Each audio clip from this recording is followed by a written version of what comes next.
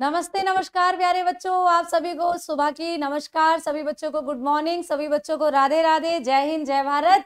आप लोग कैसे हो? उम्मीद करते हैं सभी बच्चे एकदम ज़बरदस्त, एकदम मस्त और हैप्पी होंगे। है ना बच्चों? तो आ जाओ जल्दी से शुरू करते हैं आप लोगों का नेवी एग्ज़ाम के लिए जो सिलसिला हम लोगों ने शुरू करा है मैराथन का। उसको कंटिन्यू करेंगे, आगे बढ़ाएँगे। तो एक और मैराथन आप लोगों के लिए आज हाजिर है। आप लोगों का इंतज़ार में कर रही हूँ। जल्दी से आ जाएँगे सभी बच्चे हमारे साथ। जल्दी से जल्दी जुड़ने की कोशिश करेंगे बच्चों। देखो, मैं एक बार बोलती हूँ, कितने बच्चे हमारे साथ आ चुके हैं जो इंतज़ार कर रहे थे कि हाँ अब मैडम लेकर आएँगी, केमिस्ट्री और बायो की मैराथन, है ना? तो देखो, सुमित थे हमारे साथ, मोनू है, हमारे थे नहीं, है अभी भी, है ना?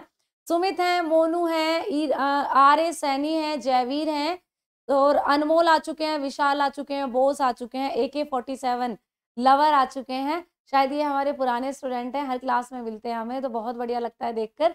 आ जाओ बच्चों आकाश सिंह आ चुके हैं हनी आ चुके हैं अक्षिता आ चुके हैं रूबी आ चुके हैं फरदीन आ चुके हैं अजय आ चुके हैं धर्मेंद्र आ चुके हैं ओमकार आ चुके हैं ब्रजेश आ चुके हैं जितने भी बच्चे हमारे साथ जुड़े हुए हैं सभी बच्चों का तहे दिल से स्वागत मैं करती हूँ आपके चहेते परिवार रोज़गार विद अंकित डिफेंस में जल्दी से आ जाएँगे सारे प्यारे प्यारे बच्चे हमारे साथ और आरडीएक्स भी आ चुके हैं बच्चे रॉयल आ चुके हैं और ग्रेमिंग करके भी आ चुकी है एक आईडी है बच्चे की सचिन आ चुके हैं विवेक आ चुके हैं मैम कॉन्सेप्ट भी करा दो। चलो, जो हाँ जहाँ आप लोगों को कॉन्सेप्ट कराने की चीज़ें होंगी, मैं बिल्कुल कराऊँगी, ठीक है? क्योंकि जस्ट आप लोगों का जो एग्ज़ाम है, वो सात तारीख को है और बच्चे रिवीजन करने में लगे हुए होंगे। कुछ ऐसी चीज़ें हैं, जो लास्ट टाइम में आप लोगों को पढ़नी ज़रूरी होती हैं, वो आपको पढ़ना है। तो समय आपके पास कम है, उसी के अकॉर्डिंगली हम लोग आपके लिए बेस्ट क्वेश्चन लेकर आए हैं। उम्मीद करते हैं, आशा ये है हम लोगों की, कि जो भी हम आपको मैराथन में क्वेश्चंस करा रहे हैं, वो आपको एग्ज़ाम में भी देखने के लिए मिलेंगे। और बड़ी ही हेल्प आप लोगों को इन क्लासेस से मिलने वाली है। तो ऐसी उम्मीद के साथ हमने भी आपके सामने एक मैराथन बायो और केमिस्ट्री की रखी है। आप लोग सभी जानते हो सात तारीख को आप लोगों का एग्ज़ाम है और एग्ज़ाम में आप लोगों को साइंस भी आएगी। यानी कि ट्वेंटी फाइव मार्क्स में जीएस का पूरा पोर्शन है, सभी बच्चे जानते हैं जो भी एग्ज़ाम देने वाले हैं और ट्वेंटी फाइव में आप लोगों की साइंस होगी। तो साइंस में जो ट्वेंटी फाइव क्वेश्चन आप लोगों को मिलेंगे, उसमें फिजिक्स और केमिस्ट्री आपको देखने को मिलेगी। वेटेज ज़्यादा फिजिक्स ही रखेगी केमिस्ट्री के आप लोगों को। अगर मैं नॉर्मली बोलूँ तो आठ या सात के आसपास प्रश्न देखने के लिए मिलेंगे। जबकि जीएस वाले पोर्शन में जो ट्वेंटी फाइव की जीएस आएगी, वहाँ पर आपको बायो भी देखने को मिलेगी। तो दोनों ही सब्जेक्ट ज़रूरी हो जाते हैं बायो भी और केमिस्ट्री भी, ठीक है? तो चार से या ऐसे बोल दीजिए कि पाँच से छः नंबर की आपको जीएस वाले पोर्शन में बायोलॉजी भी देखने को मिलेगी। तो आ जाओ, बड़ी बेहतरीन क्लास होने वाली है। मैं इंतज़ार कर रही हूँ, ज़्यादा से ज़्यादा बच्चे जुड़ जाएँ और एक बार क्लास को शेयर कर दें, जिससे दूसरे बच्चों को भी पता चले कि हमारा जो एग्ज़ाम है, सात तारीख को वो, अब उसके लिए मैडम प्रिपरेशन कराने या एक छोटी सी मैराथन लेकर आप लोगों के सामने आ चुकी हैं। आओ बच्चों, जल्दी से। हाँ जी, बहुत बढ़िया बहुत बढ़िया। सभी बच्चों का तहे दिल से स्वागत है। बहुत सारा प्यार है सभी बच्चों को। गेमिंग किंग आलोक, बड़े खुश हो गए होंगे अब। उनका नाम मैडम ने ले दिया है ना? सोनू भी आ चुके हैं। Hello, ma'am. हेलो, बच्चों। Hello hello hello. आओ भाई, जितेंद्र आ चुके हैं, प्रिया आ चुकी हैं। अब हम लोग क्लास को शुरू करने वाले हैं तो जो भी बच्चे आ चुके हैं, एक बार लास्ट टाइम क्लास को शेयर कर दो। देखो बच्चों, ग्यारह बजने, बज चुके हैं, ग्यारह से ज़्यादा ही एक दो मिनट हो रही होंगी तो आप लोगों की जो मैराथन है, वो शुरू होने वाली है। पर क्या करने वाले हैं? इस मैराथन के अंदर बायो केमिस्ट्री करने वाले हैं, क्योंकि आप लोगों के एग्ज़ाम में दोनों ही सब्जेक्ट दिए हुए हैं। तो बायो भी आएगी जीएस वाले पोर्शन में पूछी जाएगी केमिस्ट्री आपके साइंस वाले पोर्शन में पूछी जाएगी। और सुबह आप लोगों की आठ बजे फिजिक्स की मैराथन हुई थी आज। अब शुरू करते हैं साइंस के दूसरे पोर्सन बायो और केमिस्ट्री। चलो तो आ जाओ बच्चों शुरुआत करेंगे केमिस्ट्री के साथ ठीक है? क्योंकि वेटेज थोड़ा सा ज़्यादा है केमिस्ट्री का तो शुरुआत करने वाले हैं केमिस्ट्री के साथ ठीक है? आ, खुशी पूछ रही है हाउ आर यू मैम बच्चे I am very good very fine आप लोग बताओ आप लोग कैसे हो? उम्मीद है सभी बच्चे आप भी एकदम मस्त एकदम दुरुस्त होंगे है ना? Yes madam ji yes madam ji nursing वाले भी ले सकते हो बच्चों कोई बुराई नहीं है बिल्कुल ले सकते हो। जिस भी एग्ज़ाम में आपको बायो और केमिस्ट्री देखने को मिलती है, वो भी इस क्लास को ज्वाइन कर सकते हैं, ठीक है? वो भी हमारे साथ जुड़ सकते हैं। बिल्कुल एनडीए के लिए भी बिल्कुल ले सकते हो, ठीक है? हाँ जी बच्चे आर्मी के लिए नेवी के लिए एनडीए के लिए जहाँ भी बायो केमिस्ट्री एग्ज़ाम में पूछी जाती है, सबके लिए सफिशियंट है ये क्लास और बेहतरीन रहेगी, ठीक है? चलो आ जाओ।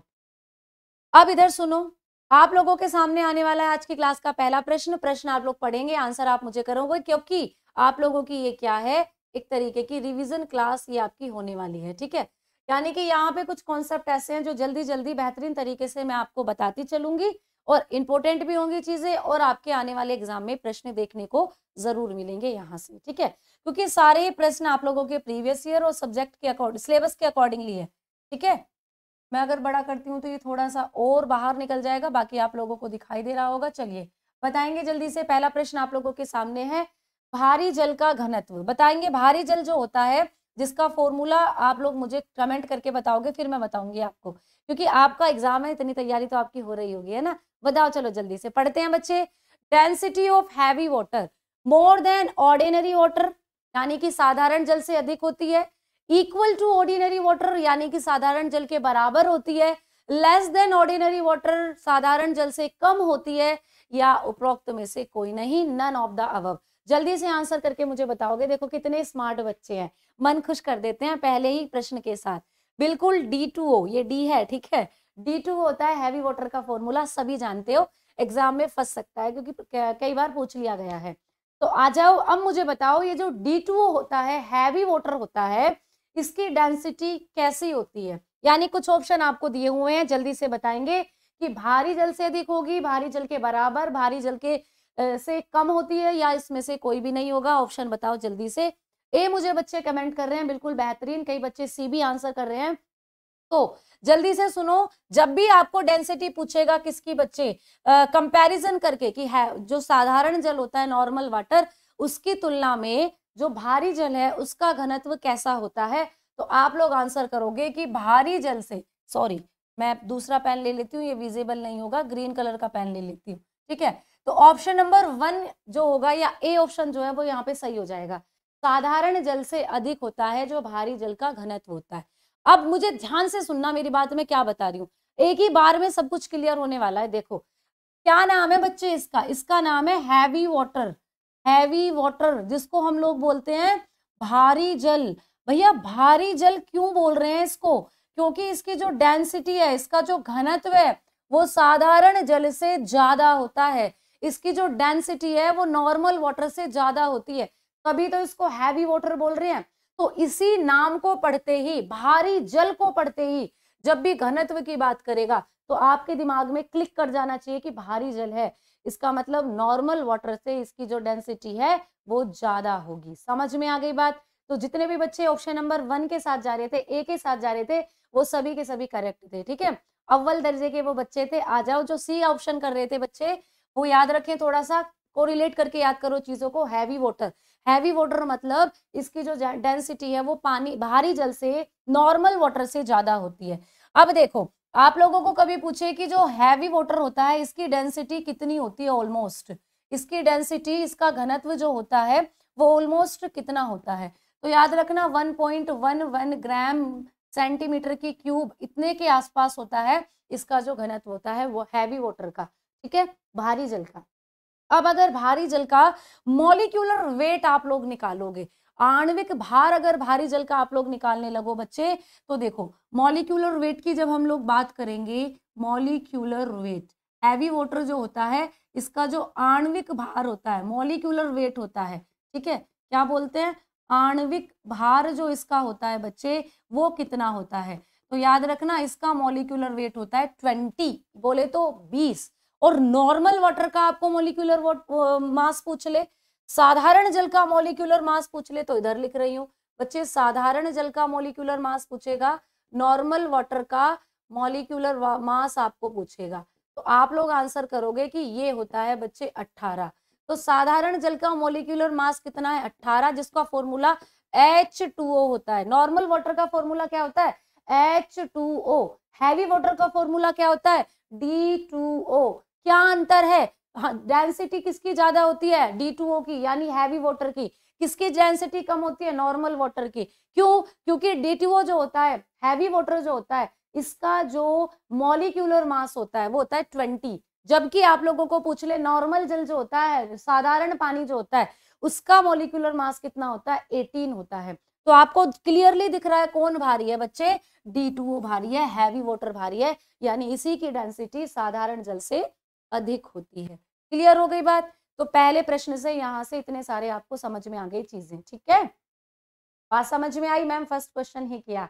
हाँ जी, आ जाओ। अब आ जाओ अगले प्रश्न की तरफ़। ये सारी चीज़ें कॉमन सी हैं, दिमाग में रखनी है आप लोगों को। नेक्स्ट क्वेश्चन आप लोगों के जो सामने आने वाला है, पढ़ो और आंसर करो। देखो क्या पूछ रहा है। निम्न में से असत्य तथ्य है। यानी आपको फाल्स स्टेटमेंट पूछ रहा है यहाँ पर। अब फाल्स स्टेटमेंट की जब बात हो रही है तो जल्दी से बताओ कौन सा स्टेटमेंट ऐसा है जो फाल्स होगा? एक बार पढ़ लेते हैं। Which of the following is a false fact पहला ऑप्शन क्या दिया हुआ है? The hardness of water depend on the dispersing powder of the soap देखो, जितने भी इस क्वेश्चन के अंदर ऑप्शन लिखे हुए ना, सारे ऑप्शन को ध्यान से पढ़ना। क्यों पढ़ना? क्योंकि सारे ही ऑप्शन आपके प्रश्न बने हुए हैं एग्ज़ाम के अंदर। जितने भी मैंने ऑप्शन दिए हुए ना, सब अपने आप में प्रश्न है। सब अपने आप में आपको आंसर के तौर पर देखने हैं, ठीक है? देखो पहला क्या है बच्चे? हार्डनेस पूछ रहा है, थोड़ा सा इसको खिसका देती हूँ जिससे आपको स्क्रीन के बीचों बीच ही आ जाए। चलो। आ गया। अब देखो, अब पढ़ो।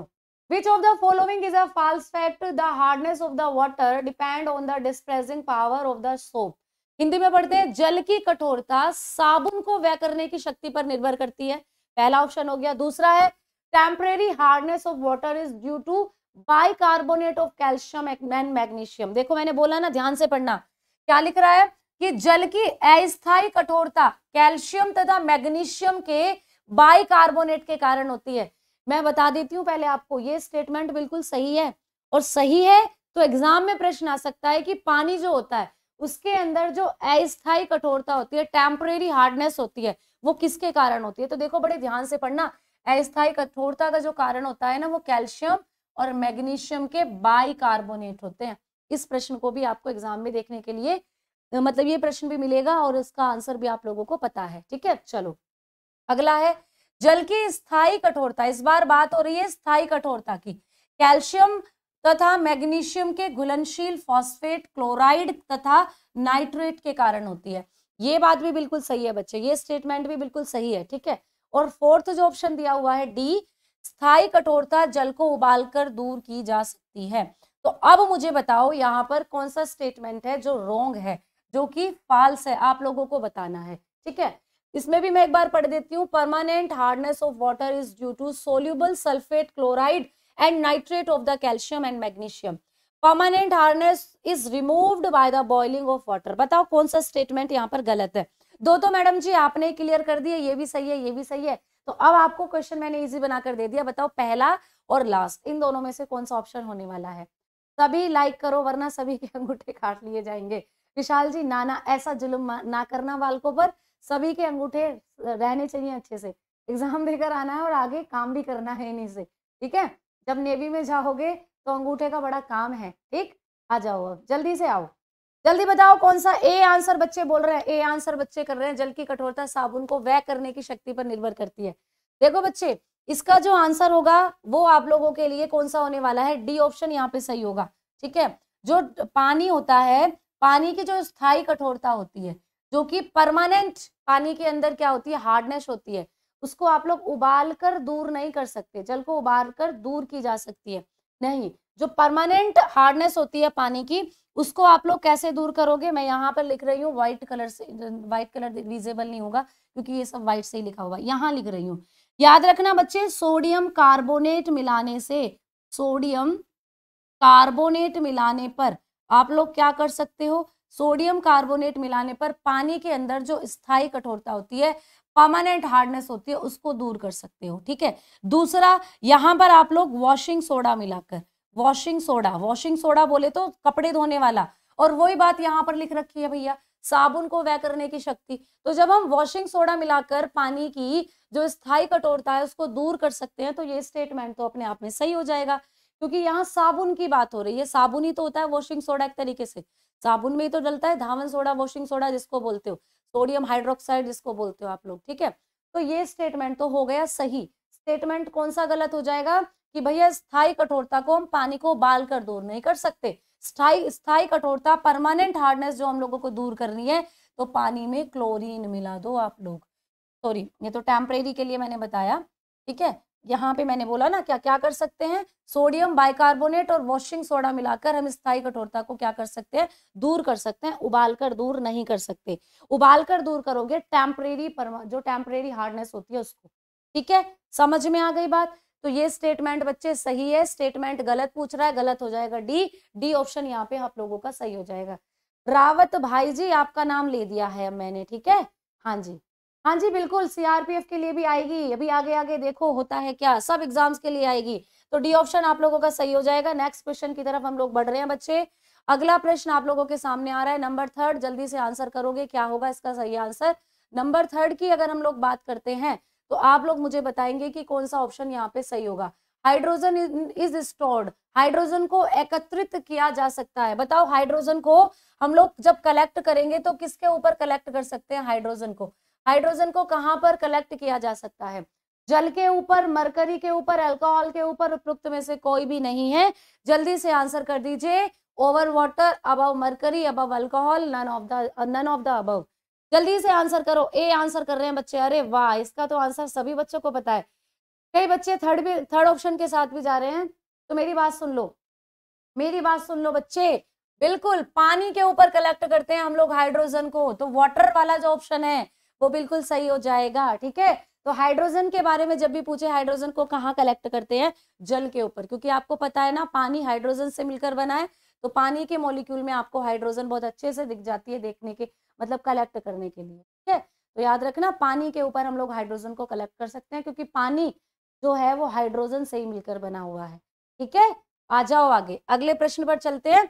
अगला प्रश्न आप लोगों के सामने आ रहा है, नंबर चार। नंबर चार आपको क्या कह रहा है बच्चे? पढ़ो और आंसर करो जल्दी से कि नंबर फोर्थ का जो ऑप्शन है, वो क्या कह रहा है? हाइड्रोजन कार्य करती है। हाइड्रोजन वर्क्स, हाइड्रोजन किस पर कार्य करती है या कैसे काम करती है? ठीक है? फ़र्स्ट ऑप्शन दिया हुआ है रिड्यूसिंग एजेंट की तरह काम करती है, यानी अपचायक की तरह। ऑक्सीडाइजिंग एजेंट की तरह काम करती है ऑक्सीकारक की तरह। Both reducing agent and oxidising agent या फिर neither reducing agent nor oxidising agent ना तो अपचायक की तरह और ना ही ऑक्सीकारक की तरह। जल्दी बताओ किसकी तरह काम करती है, जो हाइड्रोजन होती है आप लोगों की, ठीक है? जल्दी से। और साथ ही साथ मुझे ये भी बताना कि ऑक्सीडेशन जब होता है तो उसकी मेन प्रॉपर्टी क्या बोल सकते हो? और रिडक्शन जब होता है तो उसकी मेन प्रॉपर्टी क्या होती है? जल्दी से बताओ मुझे कमेंट कर कर, प्यारे प्यारे मेरे दस दोस्त, ठीक है? ऑक्सीडेशन में इलेक्ट्रॉन निकलते हैं, इलेक्ट्रॉन ग्रेन गेन होंगे या लॉस होंगे, जल्दी से बताओ। साथ ही साथ ऑप्शन के साथ option number B option number C poll लगा दो। अच्छा मैं यूँ पोल यहाँ पर, ठीक है? पोल मैं ही हूँ जल्दी से बताओ। सी आंसर बच्चे कर रहे हैं। अब चायक और ऑक्सीकारक दोनों की तरह। जल्दी बताओ कौन सा ऑप्शन सही होगा यहाँ पे। बी बच्चे कर रहे हैं बी अच्छा कोई भी बच्चा ऑप्शन नंबर ए के साथ क्यों नहीं जा रहा है? यहाँ पर ये बताओ। कोई भी बच्चा ऑप्शन नंबर ए के साथ क्यों नहीं जा रहा है? कारण बताओ जल्दी। देखो अक्षिता ने लिखा है ए नितिन ने भी ए लिखा हुआ है। हाँ बच्चे, यहाँ पे ऑप्शन नंबर वन ही सही होगा, ठीक है? याद रखना ऑक्सीजन हाइड्रोजन जो होती है, वो अपचायक की तरह काम करती है, ठीक है? रिड्यूसिंग एजेंट ये लास्ट ईयर का प्रश्न है और लास्ट ईयर में आप लोगों को जो आयोग ने माना था, वो यही माना था, ठीक है? कई बुक्स में ये डेफिनेशन भी दी होती है। तो याद रखना, आयोग ने इसी को माना था और यही आप लोग सही करोगे रिड्यूसिंग एजेंट की तरह काम करती है, ठीक है? समझ में आई बात? आ जाओ, अब आगे। मैंने क्या बोला था कि बच्चे दो प्रोसेसर होते हैं केमिस्ट्री में, वैसे डिटेलिंग में आपके सिलेबस में नहीं दिया हुआ बट सुन लो, आपको पूछेगा कि ऑक्सीडेशन जो होता है, वो क्या होता है? ऑक्सीडेशन के अंदर आप लोगों को पता होना चाहिए कि यहाँ पर इलेक्ट्रॉन जो होते हैं, उनका लॉस होता है। इलेक्ट्रॉन लॉस होते हैं, यहाँ पर इलेक्ट्रॉनों का यानी कि एक तरीके से इलेक्ट्रॉन जो होते हैं, उनको निकाल दिया जाता है। लॉस होता है। रिडक्शन के अंदर आप लोगों को पूछे क्या होता है तो रिडक्शन के अंदर इलेक्ट्रॉन जो होते हैं वो गेन किए जाते हैं, ठीक है? तो गेन ऑफ़ इलेक्ट्रॉन होता है रिडक्शन और लॉस ऑफ़ इलेक्ट्रॉन होता है ऑक्सीडेशन ये बात भी थोड़ी सी दिमाग में याद रखना, ठीक है? तो हाइड्रोजन जो होगा वो रिड्यूसिंग एजेंट की तरह काम करेगा। ठीक? समझ में आई बात? बोलो जल्दी से। आगे बढ़े। अगला प्रश्न आप लोगों के सामने आ रहा है बच्चे। नेक्स्ट क्वेश्चन पढ़ेंगे नंबर फिफ्थ और आंसर करते चलेंगे मेरे साथ, ठीक है? चलो। बताओ देखो बेहतरीन प्रश्न है, एकदम सुपर कूल सा और अच्छा सा प्यारा सा प्रश्न आपके सामने है। जब जल को ज़ीरो डिग्री से टेन डिग्री सेल्सियस तक हम लोग क्या करते हैं? गर्म। तो जल का जो आयतन है, उस पर क्या इफ़ेक्ट पड़ता है? जल्दी से बताओ। कितना अच्छा सा प्रश्न है, देखो। When water is heated from zero degree to ten degree Celsius the volume of water पढ़ते हैं ऑप्शन स्थिरता से बढ़ता है, ठीक है? कॉन्स्टिनेंटली या इंक्रीज स्पीडली स्थिरता से घटता है, पहले बढ़ता है, फिर घटता है, पहले घटता है, फिर बढ़ता है, ठीक है? पढ़ लेते हैं इंग्लिश के। Increase straightly decrease at a constant first increase then decrease first decrease then increase अब बच्चे सोच रहे होंगे, मैम, कुछ बुद्धि से नहीं घुस रहा अब घुसेगा, पहले बता दो अपना व्यू बताओ जल्दी से, कौन सा आंसर यहाँ पे सही होने वाला है? कौन सा ऑप्शन सी सी सी सी सी सी सी सी सी सी अरे भैया, मिर्च लग गई क्या? जल्दी बताओ, जल्दी। डी आंसर कई बच्चे कर रहे हैं डी वाले। अब सुनो, मैं बताती हूँ, आप खुद बता दोगे इसका आंसर क्या होगा। देखो, पानी का, पानी के बारे में ना एक छोटा सा पॉइंट आपको याद रखना है। ये जो पानी है, जिसके बिना हम जी नहीं सकते, जिसको हम पीते हैं, इन पानी महाराज के बारे में क्या बात याद रखनी है? जब ये पानी चार डिग्री सेल्सियस पर पहुँचता है, जब ये पानी जो है, ये चार डिग्री सेल्सियस पर पहुँचता है तो इस पानी के साथ दो घटनाएँ घट जाती हैं। इस पानी के साथ दो ट्रेजेडी हो जाती हैं, दो घटनाएँ घट जाती हैं। कौन कौन सी घटना? एक तो भैया चार डिग्री सेल्सियस पर पहुँचने पर इस पानी का जो घनत्व है ना, इस पानी का जो घनत्व है, जो इस पानी की डेंसिटी है, वो सबसे ज़्यादा हो जाती है। वो डेंसिटी क्या हो जाती है? एकदम हाई हो जाती है, सबसे ज़्यादा हो जाती है। एग्ज़ाम में एक प्रश्न तो ये बन सकता है आप लोगों के लिए कि पानी को जब चार डिग्री सेल्सियस पर ले जाया जाए तो सबसे ज़्यादा डेंसिटी पानी की कहाँ होगी? चार डिग्री सेल्सियस पर होगी, ठीक है? यानी सबसे ज़्यादा पानी का जो घनत्व होता है, वो कहाँ होता है? चार डिग्री सेल्सियस दूसरी ट्रेजेडी क्या हो जाती है पानी के साथ चार डिग्री सेल्सियस पर? तो बच्चे, चार डिग्री सेल्सियस पर जाने पर इस पानी का जो आयतन होगा, बात कर रहे हैं किसकी बच्चे? आयतन की, यानी कि वॉल्यूम की, और वॉल्यूम ही आपको पूछा गया है इस प्रश्न के अंदर। जो पानी का वॉल्यूम होता है, वो एकदम लो हो जाता है और सबसे कम हो जाता है, यानी कि सबसे निम्न हो जाता है। तो दो घटनाएँ क्या हुई चार डिग्री सेल्सियस पर? पानी का घनत्व चार डिग्री सेल्सियस पर सबसे ज़्यादा और आयतन सबसे कम होता है बच्चे। समझ में आ गई बात? दोनों अपोजिट है। घनत्व तो हो जाएगा हाई और भैया आयतन हो जाएगा एकदम नीचे। मान लीजिए ये घनत्व है ये आयतन है। तो चार डिग्री मेरा सर जो है चार डिग्री सेल्सियस है, है ना? तो चार डिग्री सेल्सियस पर घनत्व एकदम हाई और आयतन एकदम नीचे हो गया ठीक है? अब यहाँ क्या पूछ रहा है आपको कि ज़ीरो डिग्री से टेन डिग्री सेल्सियस पर जब पानी को गर्म करते हैं तो होगा क्या? देखो देखो भैया, देखो। ये हो गया आप लोगों का ज़ीरो से हमने मैं चार्ट के थ्रू, एक ग्राफ के थ्रू समझाती हूँ। देखो, ये ग्राफ हो गया, ठीक है? इस ग्राफ पर हमने क्या करा बच्चे? इस ग्राफ पर आप लोगों को, मान लीजिए यहाँ पर हमने ज़ीरो से लिख दिया टेन डिग्री सेल्सियस, ठीक है? और यहाँ पर मैंने लिख दिया है आप लोगों को चार डिग्री सेल्सियस टेम्परेचर और जब हमने पानी को गर्म करा ज़ीरो से दस डिग्री सेल्सियस पर तो पूछ रहा है कि आयतन पर क्या इफ़ेक्ट पड़ेगा? तो देखो, जब हमने पानी को गर्म करा ज़ीरो से चार तो देखो, पानी जो होता है ना, मैंने क्या बोला? ऐसे करके, ऐसे डिक्रीज करेगा जो आयतन होगा। अब चार डिग्री सेल्सियस पर मैंने क्या बताया आपको कि पानी का जो आयतन है, वो, ये पेन विजिबल नहीं होता, ये वाला कलर ब्लैक से लिखती हूँ। क्योंकि व्हाइट पर ना ये दिखता नहीं है। देखो इधर, मैंने लिख दिया यहाँ, ऐसे करके। ये चार डिग्री सेल्सियस लिखा हुआ अब मैंने क्या बोला? चार डिग्री सेल्सियस पर पानी का जो आयतन है, वो क्या होता है? सबसे कम होता है। तो जब पानी को ज़ीरो से चार डिग्री सेल्सियस तक गर्म करा तो यहाँ पर आकर पानी का जो आयतन है, वो क्या हो गया? एकदम कम हो गया। भैया, एकदम कम हो गया। अब जैसे ही चार से ऊपर बढ़ेगा पानी, यानी दस पर जब पहुँच रहा है तो क्या होगा आयतन? यहाँ तो बढ़ेगा बच्चे, यहाँ तो क्या होगा, बढ़ेगा। बढ़ेगा या नहीं, बताओ बढ़ेगा इंक्रीज होगा बिल्कुल।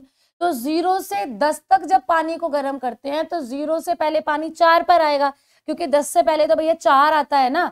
तो जब ज़ीरो से चार पर पानी आएगा तो पानी की जो आयतन है, पानी का जो वॉल्यूम है, वो कम हो जाएगा और उसके बाद बढ़ेगा। तो अब आप मुझे बता दो क्या होगा। अब आप मुझे बताओ इसका आंसर क्या होगा। जल्दी बताओ। अब जिन बच्चों को समझ में आ गया, वो गलती नहीं करेंगे यहाँ पे। पूछ रहा है कि पानी को ज़ीरो डिग्री सेल्सियस से चार डिग्री सेल्सियस तक गर्म करोगे तो पानी के आयतन पर क्या इफ़ेक्ट पड़ने वाला, बता दो जल्दी से। देखो, ये हुई ना बात। Decrease then increase D option पर पहुँच गए अब सारे बच्चे। तो यही तो समझाने वाली थी। तो पहले तो बच्चे घटेगा और फिर बाद में बढ़ जाएगा, क्योंकि ज़ीरो के बाद में पानी चार पर पहुंचेगा और चार पर जैसे ही पहुंचेगा तो आयतन एकदम लो हो जाएगा, एकदम कम हो जाएगा, है ना? और जब आगे बढ़ जाएगा, चार से छह, सात, आठ, नौ, दस पर पहुँचा तो बढ़ता चला जाएगा, ठीक है? तो ये वाली कहानी कॉन्सेप्ट को दिमाग में घुसा लेना, जब भी आगे कभी एग्ज़ाम में प्रश्न बनेगा, गलत नहीं करके आओगे, ठीक है? तो डी ऑप्शन यहाँ पे आप लोगों का सही हो जाएगा, आ जाओ, अगले प्रश्न पर चलते हैं। अगला प्रश्न आपको क्या कह रहा है बच्चे? अगला प्रश्न फिर से आ गया भारी जल पर, जो मैं आपसे पूछ ही रही थी। समझो एग्ज़ाम में टपक पड़ा, जो मैंने पूछा आप लोगों को। बताओ अब जल्दी से। टी टू जो होता है, यानी कि मैंने बोल दिया भारी जल जो होता है, ये क्या है? समुद्र जल होता है, यानी इसका फॉर्मूला एच टू ओ होता है। इसका फॉर्मूला डी टू ओ होता है, इसका formula H two O two होता है। इसका फॉर्मूला एच टू ओ जल सी ए और एम जी कार्बोनेट से मिलकर बना है, या ऐसा समझ लो, ये पूरी कहानी है। बताओ जल्दी से। Is heavy water. Heavy water क्या है यहाँ पर? यहाँ पर अगर किसी का गलत हुआ तो उसको मारूँगी कान कान से पकड़कर दह चपाट रहे, दह चपाटे। जल्दी से, बिल्कुल मुझे एकदम लाइन दिख रही है बी बी बी। ठीक है, एक बच्चे ने तो पता नहीं क्या बना दिया, वो पी भी नहीं है, वो बी भी नहीं है, वो क्यों भी नहीं है। आ जाओ इधर। बिल्कुल बी ऑप्शन यहाँ पे सही हो जाएगा, क्योंकि आप लोगों को पता है कि डी टू जो अभी अभी मैम ने बताया था, इसका फॉर्मूला होता है डी टू ओ। अच्छा भारी जल का जो हम यूज़ करते हैं, वो कहाँ करते हैं? तो इसका यूज़ हम लोग न्यूक्लियर रिएक्टरों में करते हैं। न्यूक्लियर रिएक्टर्स में करते हैं। इसके रूप में बच्चे? न्यूक्लियर रिएक्टर में हम लोग इसका यूज़ मोडेटरेट के रूप में करते हैं। मोडेटरेटर के रूप में करते हैं, मंदक के रूप में करते हैं, ठीक है? तो हैवी वाटर जो होता है, इसका यूज़ हम लोग नाभिकीय रिएक्टरों में मोडेटरेटर यानी मंदक के रूप में करते हैं, ठीक है? समझ में आई बात? हाँ जी, बिल्कुल। मोडेटरेटर मंदक के रूप में करते हैं। आओ अब इधर। मुझे ये बताओ, ये क्या है? ये फॉर्मूला किसका है? ये फॉर्मूला किसका है बच्चे? एच टू ओ टू किसका फॉर्मूला है? बताना जल्दी से। एच टू ओ टू किसका फॉर्मूला है? जल्दी से बताओ। हाइड्रोजन परऑक्साइड का है, मैंने बता दिया आपको, जल्दी से आ जाओ ठीक है? हाइड्रोजन परऑक्साइड है। आओ, अगले प्रश्न पर चलते हैं बच्चे। नेक्स्ट क्वेश्चन आप लोगों के सामने है और आप लोगों को इसका उत्तर देना है। जल्दी से बताओ, प्रश्न पढ़ो। मैं पढ़ देती हूँ, ठीक है? देखो निम्न में से कौन सा तथ्य मैथेन के संदर्भ में सही नहीं है। मैथेन जानते हो ना? मैथेन, वही जो गोबर से निकलती है और जो आप लोग बायोगैस में भी यूज़ करते हो जिसको। ठीक है? आओ। Which of the following fact is not correct correct with the with respect to the methane पहला ऑप्शन पढ़ देती हूँ। Methane molecules is tetrahedral in shape methane के जो अणु हैं, आकार में चतुष्फलकीय होते हैं। Methane is also called marsh gas methane को मार्श गैस भी बोलते हैं, ठीक है? Methane is use to make carbon black methane का उपयोग हम लोग कार्बन ब्लैक बनाने में भी करते हैं। Methane is use for welding metals methane धातुओं की वेल्डिंग करने में भी प्रयुक्त की जाती है। आंसर करो जल्दी से क्या होगा। पूछ रहा है कौन सा स्टेटमेंट सही नहीं है? इसको भी देख लेना थोड़ा सा सही नहीं है, ठीक है? बी आंसर कई बच्चे बोल रहे हैं। यहाँ पे मुझे ना सबके जो व्यू है वो अलग अलग दिख रहे हैं। कई बच्चे डी भी बोल रहे हैं, कई बच्चे बी भी बोल रहे हैं। अच्छा क्लास थोड़ी सी पीछे क्यों चल रही है? अभी बच्चे कुछ डी टू बोल रहे हैं आंसर जो कि पिछला प्रश्न था। हाँ जी डी ऑप्शन बता रहे हैं ए ऑप्शन बता रहे हैं सी ऑप्शन बता रहे हैं, सारे के सारे ही बता रहे हैं। तो आ जाओ, मैं बताती हूँ। बच्चे देखो मैथेन का जो मॉलिक्यूल होता है ना, वो बिल्कुल चतुष्फल होता है। एकदम सही स्टेटमेंट है, ठीक है? आगे देखो मैथेन को मार्श गैस भी बोलते हैं बिल्कुल सही बात है। मैथेन दलदली इलाकों पे पाई जाती है मार्शी एरियाज़ पर जहाँ पे पानी कीचड़ होती है बेसिकली जहाँ पे थोड़ी। तो वहाँ पर भी ये मिल, मिलती है।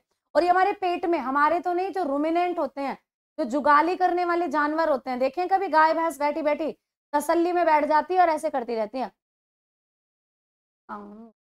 अपना बैठकर चबाती रहती है। वो होते हैं रूमिनेंट जो जुगाली करते हैं। तो उनके पेट में भी एक बैक्टीरिया होता है, मैथोनोजन बैक्टीरिया। वो मैथोनोजन बैक्टीरिया क्या काम करता है? मैथेन गैस बनाता है उनके गोबर से। इस बात को लिख रही हूँ, मैथेनोजन, ठीक है? मैथोनेजन बैक्टीरिया जो होता है, ये बैक्टीरिया क्या काम करता है? ये बैक्टीरिया रूमिनेंट जो होते हैं, जुगाली करने वाले जो जानवर होते हैं, उनके पेट में होता है और उनके मल में जो उनका गोबर होता है, उसमें मार्श गैस का निर्माण करता है, ठीक है? अगला है, मैथेन का उपयोग कार्बन ब्लैक बनाने में करते हैं बच्चे, बिल्कुल, क्योंकि मैथेन कार्बन का ही एक क्या मान सकते हैं कार्बन का एक रूप। मैथेन का फॉर्मूला क्या होता है? सी एच फोर होता है, ठीक है? तो कार्बन है ना इसके अंदर। आगे आओ। अगला जो फोर्थ पॉइंट है बच्चे मैथेन धातुओं की वेल्डिंग करने में प्रयुक्त की जाती है, ये बिल्कुल गलत है। तो यहाँ पे गलत ऑप्शन ही पूछ रहा है तो डी ऑप्शन बिल्कुल यहाँ पे सही हो जाएगा।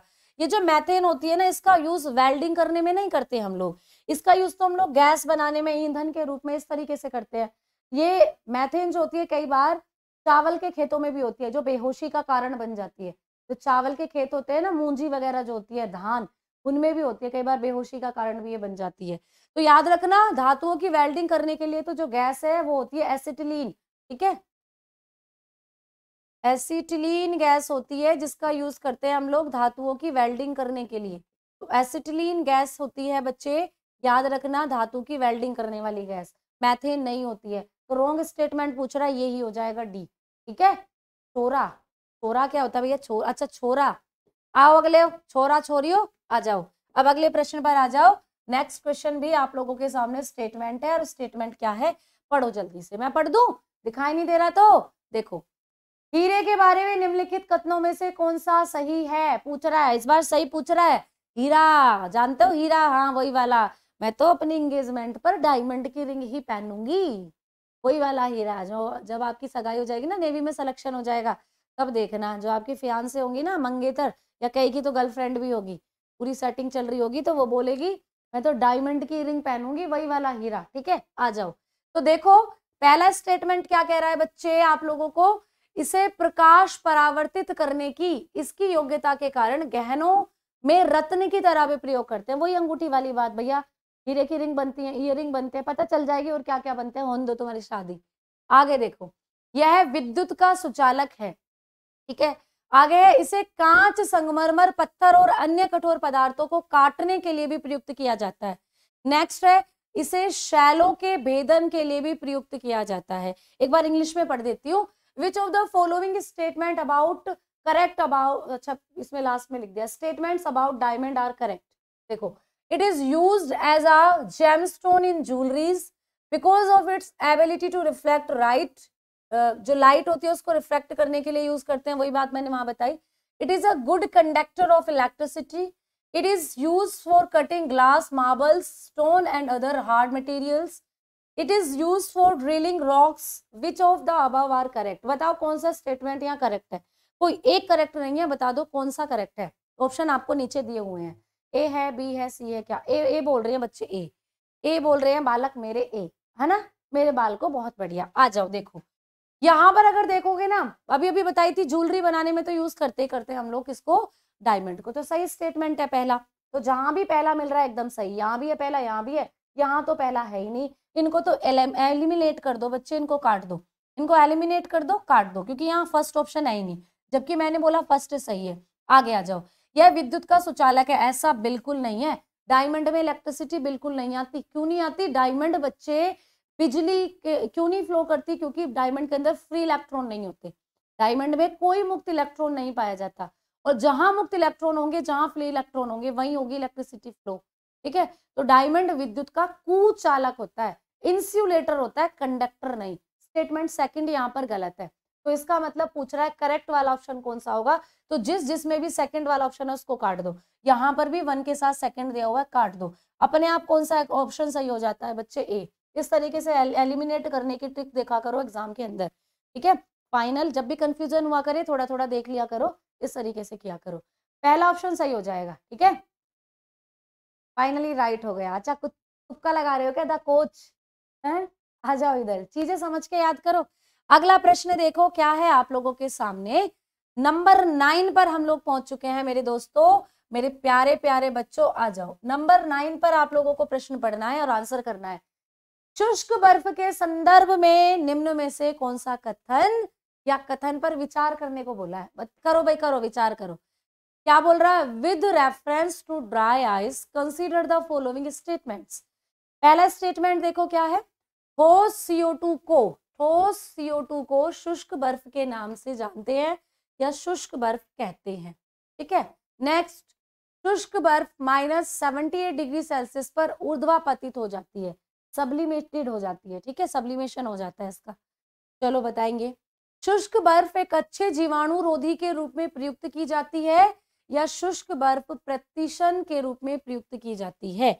यहाँ पर भी स्टेटमेंट पूछ रहा है। देख ही नहीं रहा है, दिख नहीं रहा है। बच्चे दिखना तो चाहिए, आप लोगों को ऐसे कैसे हो गया, दिख नहीं रहा है? तो और बड़ा कर दिया हमने। चलो, अब तो दिख रहा होगा बिल्कुल, है ना? चश्मे लगवा लो, जिनको दिख नहीं रहा है, आ जाओ इधर। अब सुनो, अब बताओ, कौन सा स्टेटमेंट सही है? मैं इंग्लिश में भी पढ़ दूँ एक बार? पहला ऑप्शन है बच्चे solid CO two is called dry ice dry ice sublimates at minus seventy eight degree Celsius dry ice is use as a good antibacterial dry ice is use in refrigerator refrigeration ठीक है? Which of the above statement are true बताओ कौन सा true है? देखो मेरे बच्चों देखती हूँ पहले कौन कौन से बच्चे। डी आंसर बच्चे बोल रहे हैं डी डी आंसर बच्चे बोल रहे हैं। देखो जो सॉलिड आइस होती है वो कार्बन डाइऑक्साइड ही होती है बच्चे। जो ठोस सीओ टू होती है उसको आप लोग सॉलिड सीओ टू के नाम से यानी ड्राई आइस के नाम से ही जानते हो।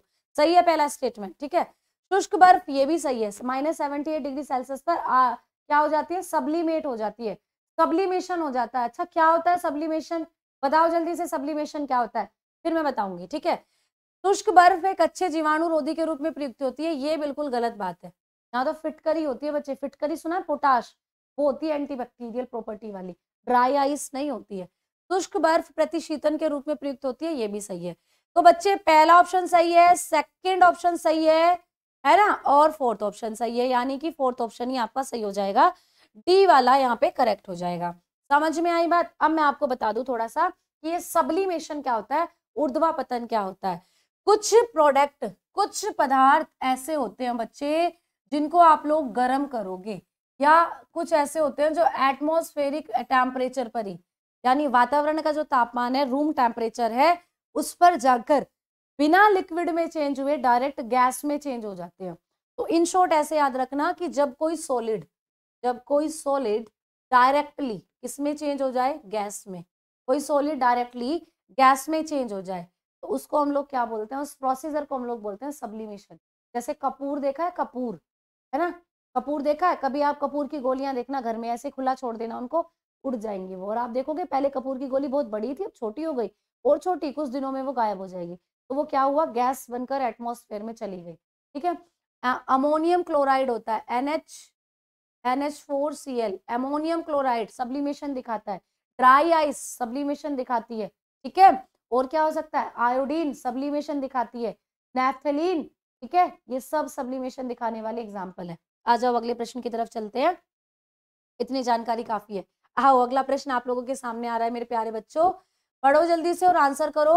नंबर टेन पर हम लोग पहुँच चुके हैं, बताओ जल्दी से। निम्न में से कौन सा युग्म अपर रूप नहीं है? Which of the following pair is not an allotrope allotrope कौन नहीं है? यहाँ पर आपको बताना है। ऑक्सीजन तथा ओजोन नहीं है। हाइड्रोजन तथा ड्यूटीरियम नहीं है। लाल फॉस्फोरस तथा पीला फॉस्फोरस नहीं है। या फिर डायमंड तथा ग्रेफाइट ऑलोट्रोप पूछ रहा है बच्चे, अपर रूप पूछ रहा है। अपर रूप। जल्दी से बताओ, अपर रूप। अपर रूप वो होते हैं जिनका फॉर्मूला समान होता है बेसिकली ठीक है? जिनका जो मतलब एक तरीके से जिससे वो, जिस चीज़ से वो बने हैं। केमिकली स्ट्रक्चर इनका अलग अलग होगा, लेकिन इनकी फ़िज़िकल प्रॉपर्टी समान होती है। तो बताओ जल्दी से। जल्दी बताओ क्या क्या होगा, ठीक है? जल्दी बताओ। केमिकल स्ट्रक्चर इनका अलग अलग होता है, लेकिन इनकी क्या जो मतलब जो फॉर्मूला होता है वो अलग अलग होता है, लेकिन प्रॉपर्टी सेम सी होती है। तो बताओ कौन है यहाँ पर एलोट्रोप कौन नहीं है, ये पूछ रहा है, कौन नहीं है? मैम, कितने प्रश्न आएँगे यहाँ से? बच्चे केमिस्ट्री मैंने बोला ना, पच्चीस में आपकी आएगी साइंस पच्चीसवें नंबर में जो साइंस आएगी बेसिकली वहाँ फिजिक्स और केमिस्ट्री ही आएगी। बेटेस केमिस्ट्री उसका फिजिक्स का ज़्यादा रहेगा केमिस्ट्री में आप लोगों को छह से सात प्रश्न मान के चलो मैक्सिमम जो देखने को मिलेंगे। ठीक है? बाकी के छह से सात को छोड़कर जितने भी होंगे, वो फिजिक्स के होंगे। और जीएस वाले पोर्शन में आपको बायोलॉजी मिलेगी, पाँच से छह नंबर की। ठीक है? आ जाओ तो देखो बच्चों, आप लोगों का जो सही ऑप्शन होगा, वो बी होगा यहाँ पर। हाइड्रोजन एंड ड्यूटेरियम जो होते हैं, ये ओलोट्रोप्स नहीं है। हाइड्रोजन एक अलग चीज़ है बच्चे, और ड्यूटेरियम वही है जो अभी अभी हमने डी टू पढ़ा था, D two O, heavy water जिसको हम लोग बोल रहे थे ड्यूटेरियम तो ये दोनों एक दूसरे से बिल्कुल अलग है, कोई केमिकल फॉर्मूला इनका नहीं है, एक जैसा स्ट्रक्चर, एक जैसा नहीं। तो ये दोनों क्या है, एकदम अलग हैं, ठीक है? समझ में आ गई बात? चले आगे तो बी ऑप्शन यहाँ पे आप लोगों का सही हो जाएगा, ठीक है? जबकि ऑक्सीजन होती है ओ टू ओजोन होती है ओ थ्री ठीक है? डायमंड और ग्रेफाइट दोनों ही कार्बन के ओलोट्रोफ हैं आप लोग समझते हो। तो सेम है दोनों कार्बन के ही हैं सेम रहेंगे। रेड फॉस्फोरस और येलो फॉस्फोरस भी सेम ही है फॉस्फोरस के हैं दोनों ठीक है? लेकिन हाइड्रोजन और ड्यूटेरियम जो होते हैं ये क्या है? ये अलग अलग हैं बच्चे ठीक है? हाइड्रोजन और ड्यूटेरियम ठीक? याद रखोगे? आ जाओ अब आगे। अगला है। हाँ, तुक्का सही नहीं लग रहा। अरे बाबा, तुक्का सही नहीं लग रहा। अरे अरे, तुक्का लगाने आयो पढ़ो बच्चों, पढ़ो, ठीक है? इधर देखो, अब अगला प्रश्न क्या है भैया? मैचिंग करनी है आप लोगों को, लगाओ दिमाग। ऐसे ही प्रश्न आएँगे बच्चे एग्ज़ाम में, कोई हवा नहीं आएगा और आप लोग कर सकते हो। तो करो और बताओ। देखो, मैच करना है आप लोगों को, सुमेलित करना है। एक तरफ़ सूची वन दी हुई है, एक तरफ़ सूची टू दी हुई है। आ जाओ। देखो भूरी गैस किसको कहते हैं, ये बताना है। हास्य गैस, हंसाने वाली गैस किसको कहते हैं? क्षारिय गैस किसको कहते हैं? मछली की गंध वाली या पीली, नीली गैस किसको कहते हैं? जल्दी से बता दो आंसर करके, ठीक है?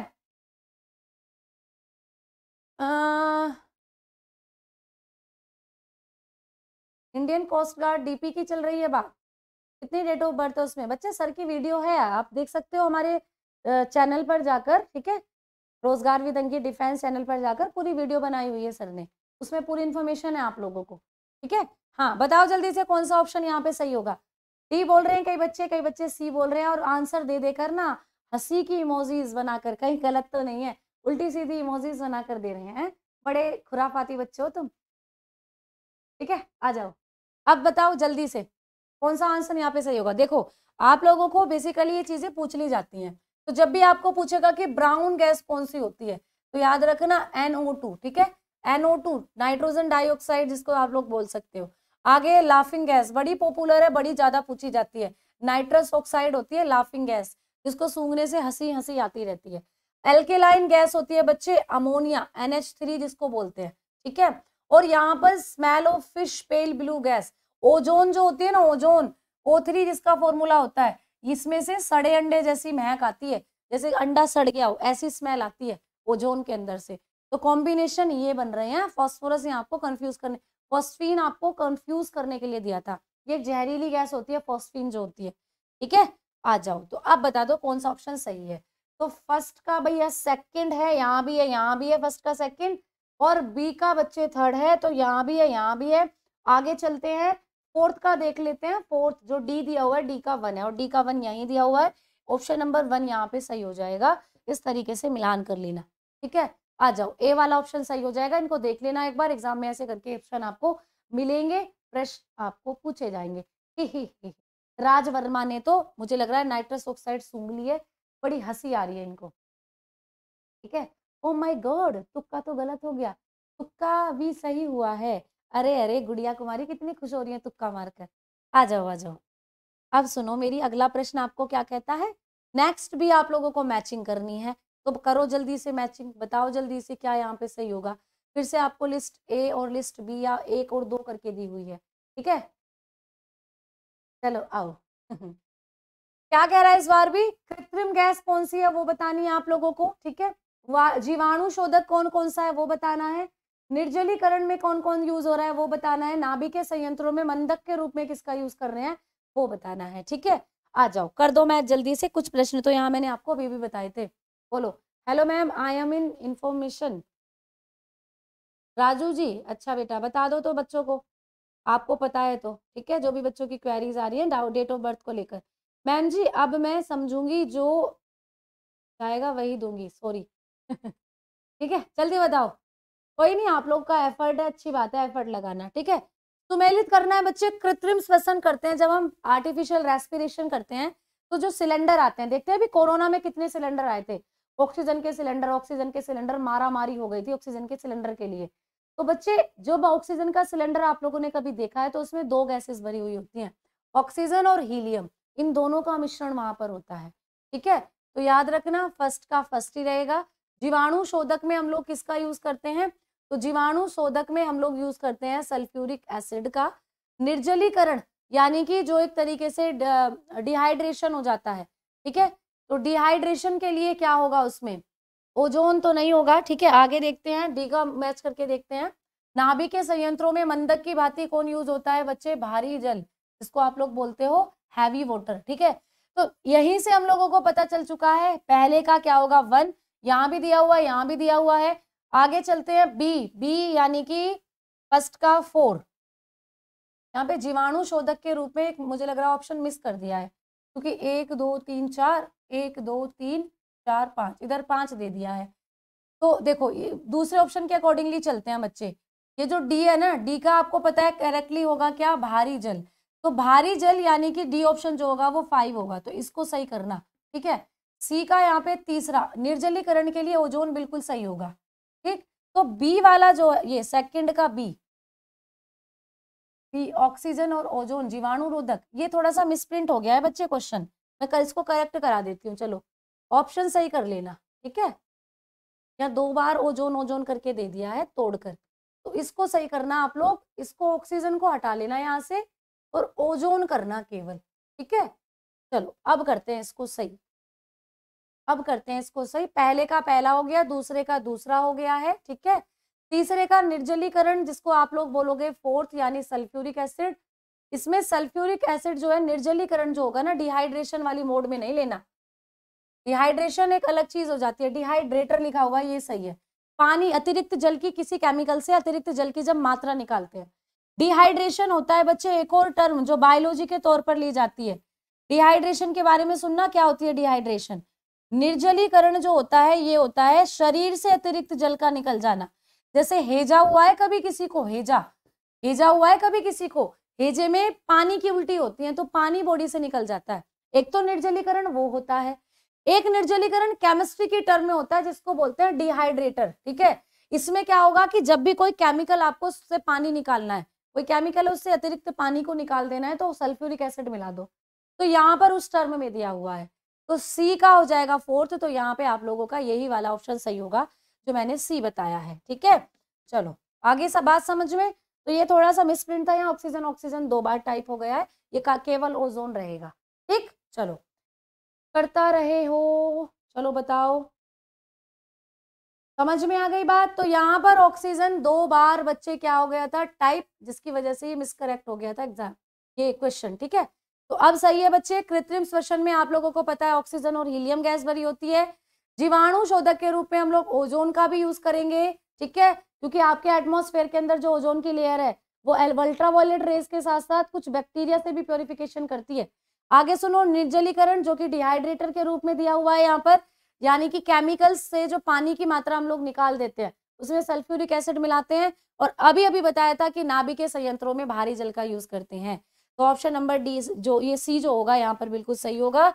ऑप्शन सी के साथ आप लोग जाएँगे, कोई दिक्कत? चलो, आ जाओ।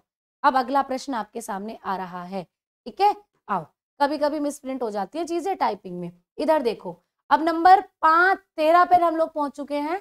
तेरह के अंदर आप लोग बताएँगे। देखो ऑप्शन वही रहने वाले हैं क्योंकि हिंदी, इंग्लिश वाले जैसा यहाँ पे कुछ है ही नहीं। पढ़ो। निम्न में से किसे कसिस का तेल कहते हैं? बताओ जल्दी से। कसिस का तेल किसको कहते हैं? Which of the following is called repeated oil या कसिस का तेल? तो या, बताओ जल्दी से कसिस का ऑयल या रेप्रीसीड ऑयल किसको कहा जाता है? H two S two O three को H two S O four को H two S O five को या H two S O O eight को? जल्दी से बताओ। जल्दी बोलो, किसको कहते हैं बच्चे? कसिस का तेल, आप लोगों ने सुना भी होगा। कसिस का तेल बी ऑप्शन आ रहा है जयवीर जी का बड़ा बड़ा। और बच्चे, जल्दी से आंसर करो, जल्दी जल्दी जल्दी। नो आइडिया नो आइडिया वाले, क्या करोगे तुम्हें बिल्कुल H two S O four को बोलते हैं, बच्चे कसिस का तेल। ठीक है? ऑप्शन नंबर बी यहाँ पे सही हो जाएगा। अगले प्रश्न की ओर हम लोग बढ़ने वाले हैं। आ जाओ जल्दी से।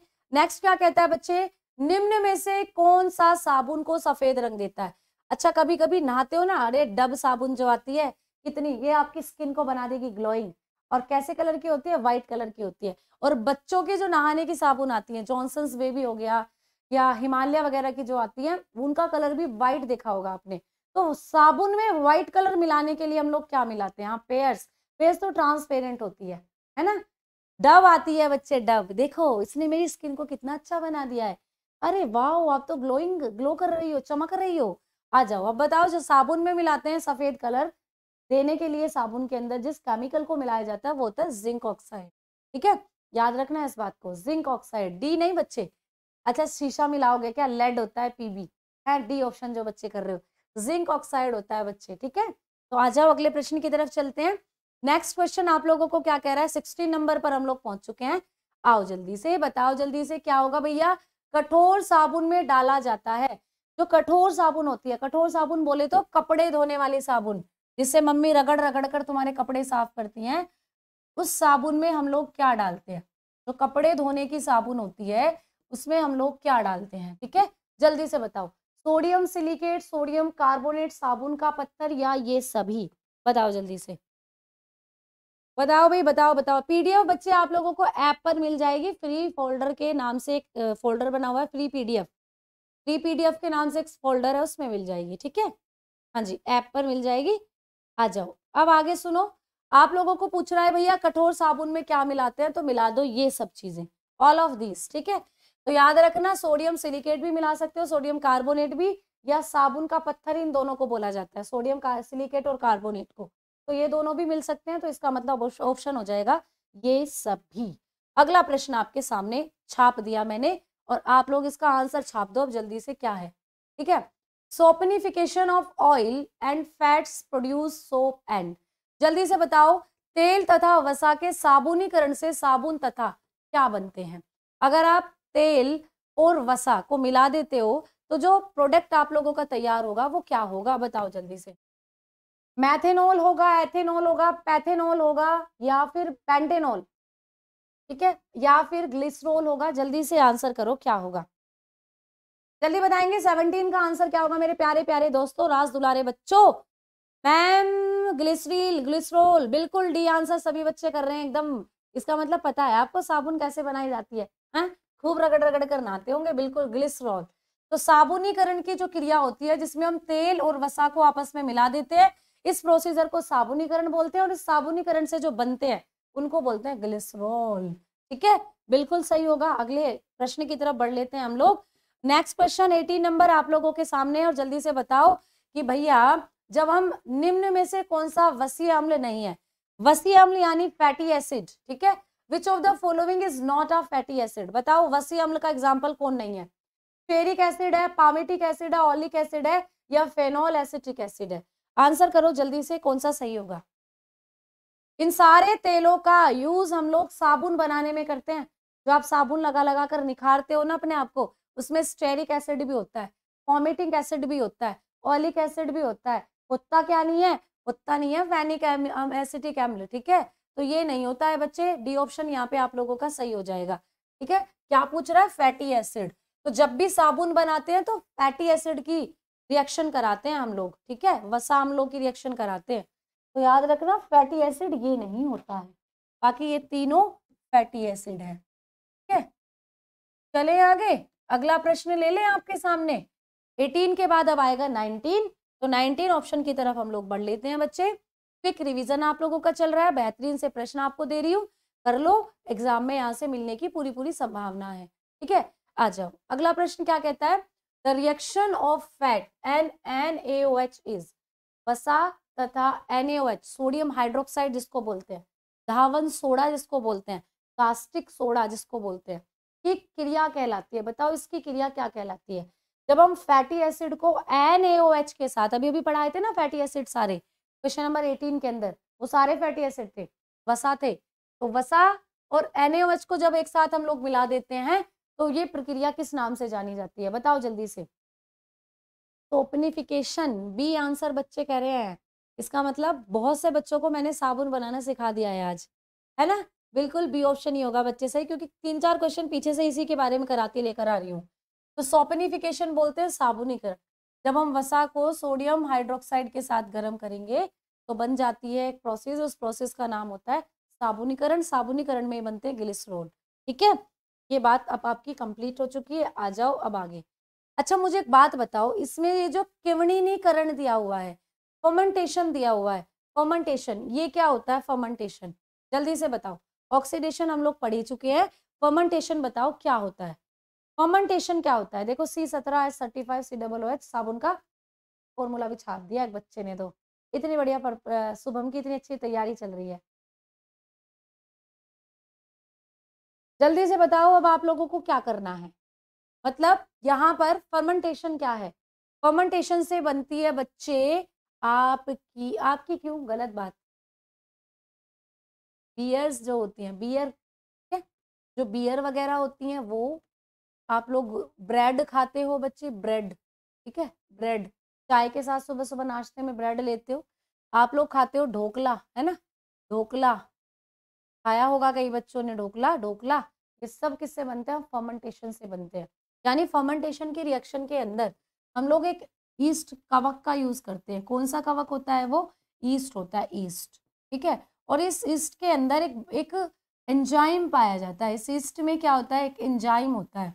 ये एंजाइम कौन सा होता है? तो इस एंजाइम का नाम है जाइमेज एंजाइम क्या है बच्चे?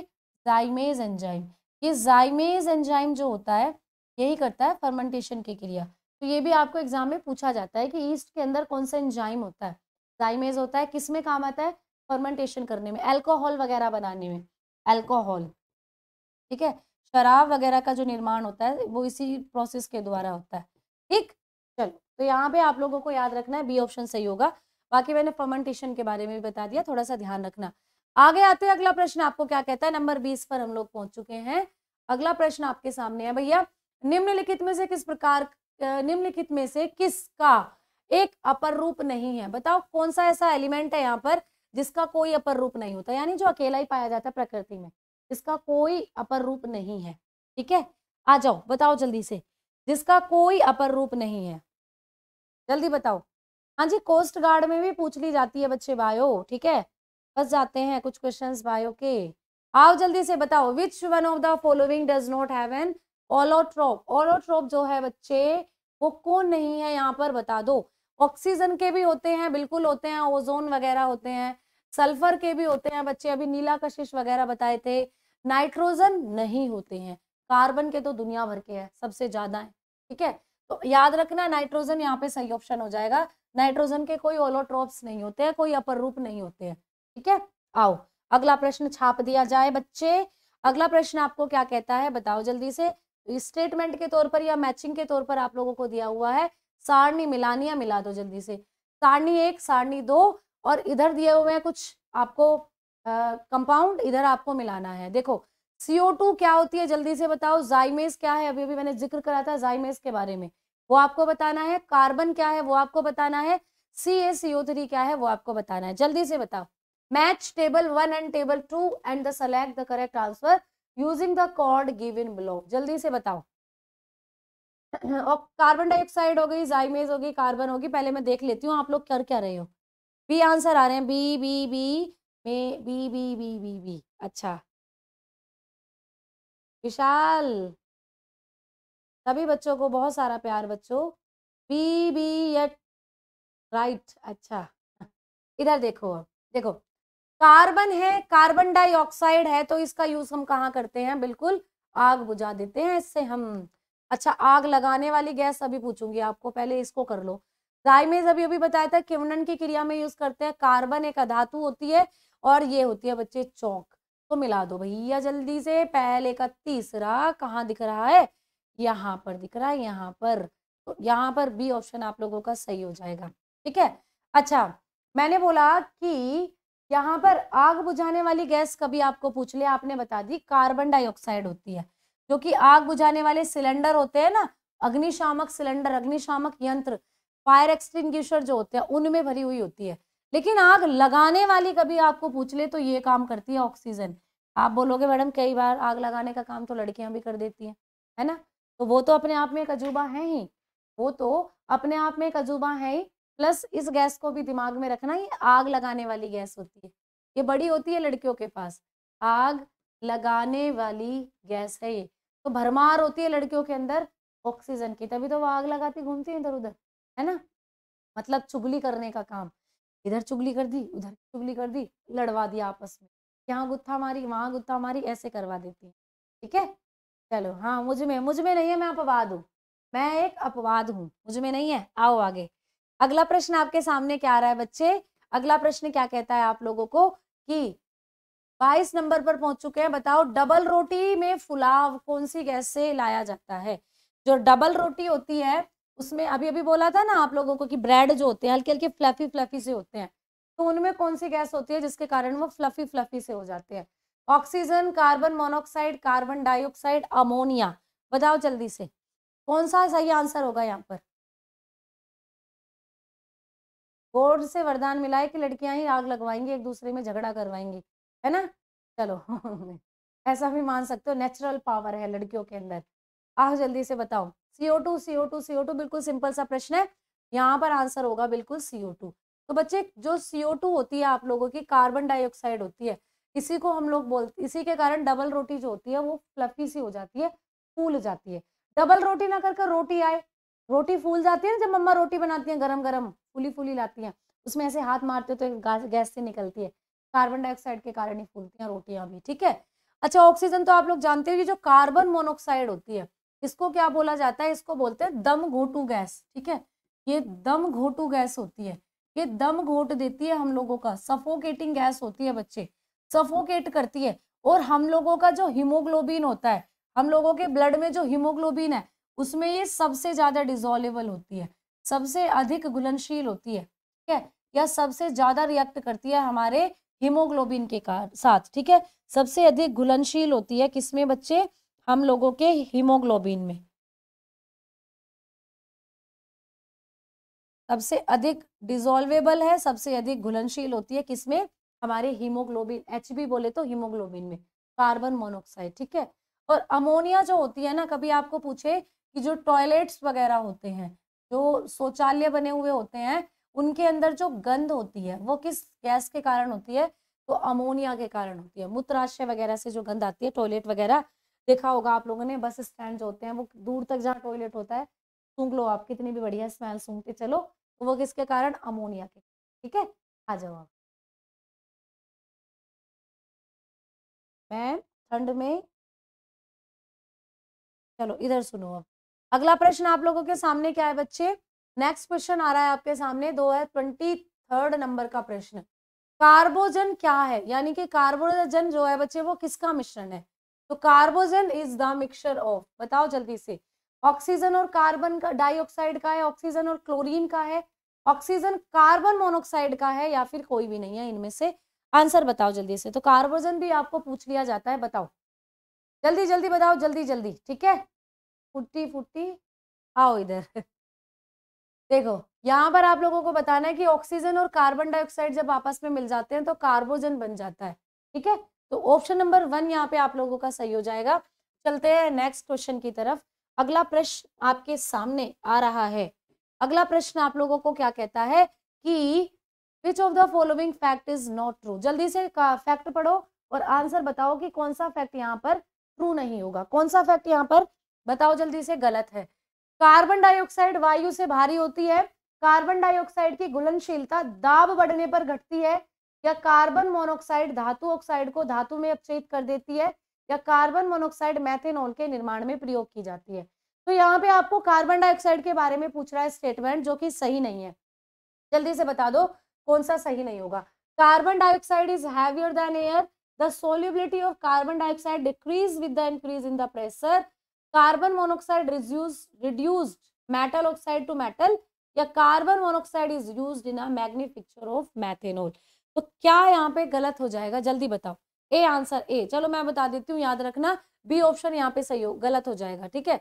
ये जो कार्बन डाइऑक्साइड होती है आप लोगों की, ये बच्चे की घुलनशीलता जो होती है, वो कार्बन डाइऑक्साइड की घुलनशीलता दाब बढ़ने पर घटती है। ये स्टेटमेंट यहाँ पर क्या है? गलत है। ठीक है? याद रखना ये स्टेटमेंट यहाँ पर गलत दिया हुआ है। तो गलत पूछ रहा है तो बी वाला ऑप्शन यहाँ पे सही हो जाएगा आप लोगों का। तो बी यहाँ पे क्या होगा? सही। चलते हैं अगले प्रश्न की तरफ़। अगला प्रश्न आप लोगों के सामने आ रहा है और जल्दी से पढ़ेंगे। ट्वेंटी फाइव पर हम लोग पहुँच चुके हैं। जल्दी से आप लोग आंसर करेंगे बच्चे। Carbon dioxide oxidises carbon dioxide ऑक्सीकृत कर देती है। जल्दी बताओ किसको ऑक्सीकृत कर देती है, जो कार्बन डाइऑक्साइड होती है? रक्त तप्त तांबे को, रक्त तप्त कार्बन को, रक्त तप्त चांदी को, रक्त तप्त लेड को। जल्दी से बताएँगे red hot copper red hot carbon red hot silver red hot lead carbon dioxide किसको रक्त कर देती है बच्चे? जल्दी से बताओ। क्या यहाँ पे सही आंसर होगा? बी आंसर बच्चे डी आंसर बच्चे बोल रहे हैं, कई बच्चे बी आंसर बोल रहे हैं। आंसर पढ़ो जल्दी से और जल्दी से आंसर करो। Hot red carbon hot red silver hot red lead जल्दी बताओ। तो ऑप्शन नंबर बी यहाँ पे सही होगा बच्चे। ठीक है? रक्त तप्त कार्बन को क्या कर देती है? कार्बन डाइऑक्साइड अपचयित कर देती है। ठीक है? बी ऑप्शन सही हो जाएगा बच्चे। बी ऑप्शन ठीक? चलो। आओ अगले प्रश्न की तरफ़ बढ़ लेते हैं। अगला प्रश्न आपके सामने आ रहा है। ट्वेंटी सिक्स और ट्वेंटी सिक्स क्या कहता है आप लोगों को? जल्दी से बताएँगे। Which is the major combustion component of gobar gas? Gobar gas जो होती है, इसका प्रमुख दहन घटक कौन सा है? यानी गोबर गैस जब जलती है तो क्या उसके अंदर जलता है? जल्दी से बताओ। प्रमुख दहन घटक कौन सा है? जल्दी आंसर करोगे। मेथेन कार्बन डाइऑक्साइड हाइड्रोजन या प्रोपेन बच्चे कार्बन और उसके कंपोनेंट आपके सिलेबस में ना बहुत अच्छे से दिए हुए हैं। पूरा जब आप सिलेबस देखोगे तो उसमें यही टॉपिक ज़्यादा हुआ, दिया हुआ है। इसीलिए प्रश्न भी यहीं से ज़्यादा है, ठीक है? तो बताओ जल्दी से।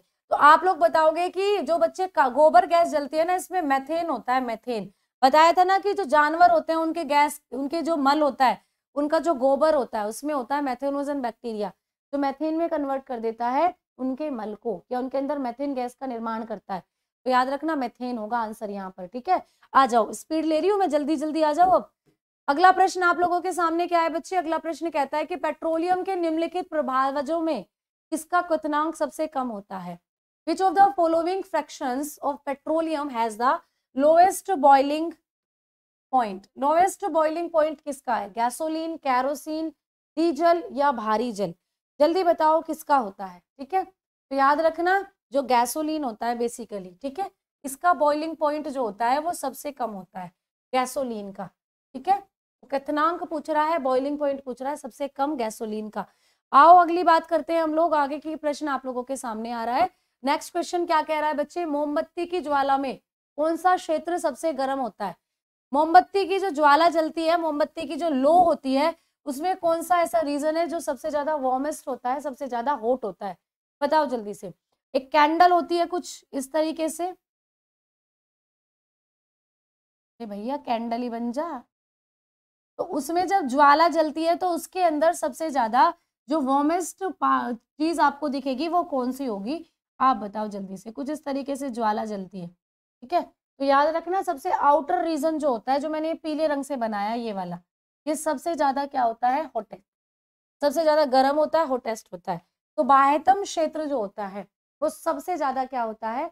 गर्म पार्ट होता है, मोमबत्ती की ज्वाला के अंदर। आओ, अगला प्रश्न आपके सामने आ रहा है अगला प्रश्न क्या कहता है? What property of hydrogen by which hydrogen is separated from alkali metal hydrogen के अंदर या हाइड्रोजन का वह गुण जिसके द्वारा हाइड्रोजन को क्षार धातुओं से पृथक किया जाता है। बताओ जल्दी से कि हाइड्रोजन जो होती है, वो क्षार धातुओं को पृथक कर देती है, क्षार धातुओं को अलग कर देती है। ऐसी किस प्रॉपर्टी के कारण हाइड्रोजन करती है? तो जल्दी से आंसर पढ़ेंगे, बच्चे आंसर बताएँगे अपना। इसका अपचायक गुण इसके कारण बच्चे, इसका विद्युत ऋणात्मक गुण इसके कारण, इसकी धातुओं के लिए बंधुता या इसका अधात्विक गुण जल्दी से बताओ। तो बिल्कुल सही बात है बच्चे, इसका अधात्विक गुण होगा, यानी कि इसकी नॉन मेटेलिक प्रॉपर्टी के कारण ही जो हाइड्रोजन होती है, वो चार धातुओं को पृथक कर देती है। तो ये बात भी याद रखना, ठीक है? हाइड्रोजन वैसे तो एक, ना तो उसको मेटल माना है, ना उसको नॉन मेटल माना है, वो बीच की प्रॉपर्टी की प्रॉपर्टी शो करती है। बट कई बार वो मेटल की तरह काम करती है, कई बार नॉन मेटल की तरह काम करती है। तो इसकी अधात्विक प्रकृति के कारण ये क्या करती है, ये हाइड्रोजन अपने अंदर से क्षार धातुओं को विस्थापित कर देती है, उनका पृथककरण कर देती है। ठीक है? चलो, आओ, अगला प्रश्न मैं आप लोगों के सामने लेकर चल रही हूँ। मेरी नज़र यही है। Good afternoon madam ji, Maharashtra की धरती से कृष्णा बोल रहे हैं, कृष्णा। बहुत बढ़िया बच्चे गुड आफ्टरनून आ जाओ, मेरे साथ पढ़ो। और क्वेश्चंस करो। देखो अगला प्रश्न आपके सामने क्या कहता है। नेक्स्ट क्वेश्चन है कि ट्राइट्रियम का विघटित, विघटन उत्पादन है। बताओ the disintegration product of tritium tritium जो होता है, जो कि हाइड्रोजन का एक समस्थानिक है। हाइड्रोजन का एक समस्थानिक है, इसका विघटित उत्पाद क्या है? इससे विघटित होकर क्या बनता है? जल्दी बताओ। One H one one H two two H two two H E four यानी हीलियम या फिर टू एच ई थ्री? जल्दी से बताओ क्या बनेगा। तो याद रखना ट्राइट्रियम है इसका मतलब क्या बनेगा? यहाँ पर टू एच ई थ्री बनेगा। One H one one H two, one H three. ये तीन किसके समझदानिक होते हैं बता? जो ट्राइट्रियम होता है। इस बात को भी याद रखना, ठीक है? ठीक है? अच्छा क्लास में कुछ दिक्कत हो रही है क्या? नेट चला गया।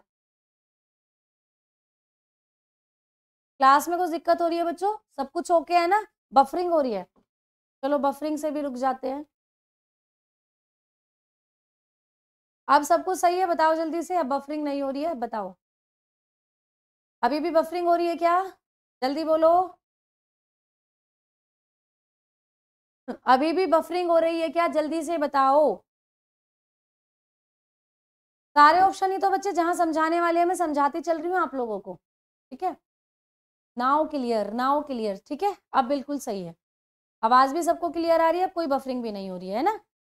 चलो, आ जाओ आ जाओ। अब क्लियर है मैडम जी? आओ। बीच में कभी कभी इंटरनेट की दिक्कत हो जाती है, अब सब कुछ सही है है ना? तो बच्चे याद रखना, ये हाइड्रोजन का ऐसा समस्थानिक होता है, ट्राइट्रियम जो होता है, जो कि रेडियो एक्टिव होता है। तो ये भी आपको एग्ज़ाम में पूछा जाता है कि हाइड्रोजन का कौन सा ऐसा समस्थानिक है, जो रेडियो एक्टिव होता है? तो ये ट्राइट्रियम जो होता है, ये रेडियो एक्टिव समस्थानिक है, अल्फ़ा, बीटा, रेज निकालता है। ठीक है? आओ, आगे चलते हैं। नेक्स्ट क्वेश्चन आप लोगों को क्या कहता है बच्चे? अगला प्रश्न आप लोगों के सामने आ गया है, बोलता है, निम्न में से कौन सी धातु अम्लों से हाइड्रोजन विस्थापन या अम्लों से हाइड्रोजन नहीं निकाल सकती है? तो बताओ कौन सी ऐसी धातु है जो अम्लों से हाइड्रोजन नहीं निकाल सकती है? Which of the following metal can not withdraw hydrogen from the acid hydrogen from the acid hydrogen नहीं निकाल सकती है बच्चे एसिड से, अम्लों से। कौन सी ऐसी आप लोगों के सामने मेटल है? प्लेटिनम है, सिल्वर है, गोल्ड है या ये सभी हैं? जल्दी आंसर करो। जल्दी आंसर करो, अब बफरिंग नहीं हो रही है अब सब कुछ सही चल रहा है। इंटरनेट पूरे कनेक्शन लिए हुए हैं, जल्दी बताओ। आपके कनेक्शन अब नहीं उड़ने चाहिए, ठीक है? तो बच्चे याद रखना ये सभी। आप अगर प्लेटिनम की बात करोगे, आप अगर गोल्ड दिया हुआ है। अगर आप लोग गोल्ड की बात करोगे, अगर आप सिल्वर की बात करोगे तो ये किसी भी एलिमेंट के अंदर से या किसी भी कंपाउंड के अंदर से या किसी भी धातु के अंदर से किसको हाइड्रोजन को विस्थापित नहीं कर सकती हैं। क्यों? क्योंकि हाइड्रोजन इनसे ज़्यादा पावरफुल है। हाइड्रोजन इनसे ज़्यादा क्रियाशील है। हाइड्रोजन क्या है बच्चे? अधिक क्रियाशील है। हाइड्रोजन जो होती है। यहाँ लिख देती हूँ हाइड्रोजन इनकी तुलना में अधिक क्रियाशील है। मोर रिएक्टेबल है, ठीक है? तो इसीलिए ये हाइड्रोजन को विस्थापित नहीं कर सकती है। तो याद रखना प्लेटिनम सोना, चांदी जिसके भी आभूषण बन सकते हैं ये कम क्रियाशील धातुएँ होती हैं। अगर भैया लोहा चांदी, ये लोहा कह रही हूँ, सोना चांदी ज़्यादा क्रियाशील होती तो क्या इनके आप धातु, इनके बने हुए आभूषण पहन पाते? ये तो हवा से रिएक्शन करके आप में आग लगा देती, है ना? मान लीजिए आपने सोना पहना रिंग पहनी तो रिंग ने क्या करा? सोने की रिंग थी, सोने ने एटमोसफेयर से रिएक्शन करी और आपकी उंगली जला दी। अगर ऐसा कुछ होता है तो इनके आभूषण क्यों बनाते? ये लेस रिएक्टिव होती हैं, बहुत कम रिएक्टिव होती हैं इसीलिए इनकी जो करते हैं हम लोग धातु बनाने में या आभूषण बनाने में इनका यूज़ करते हैं, ठीक है? तो ये हाइड्रोजन को कभी भी विस्थापित नहीं कर सकते क्योंकि हाइड्रोजन ज़्यादा पावरफुल है इनसे, ठीक है? तो यहाँ हाइड्रोजन, प्लेटिनम, सोना, चांदी इस तरीके से इनको मान सकते हो कि हाइड्रोजन इनसे सबसे ऊपर रखा हुआ है, ठीक है? तो ज़्यादा क्रियाशील है हाइड्रोजन।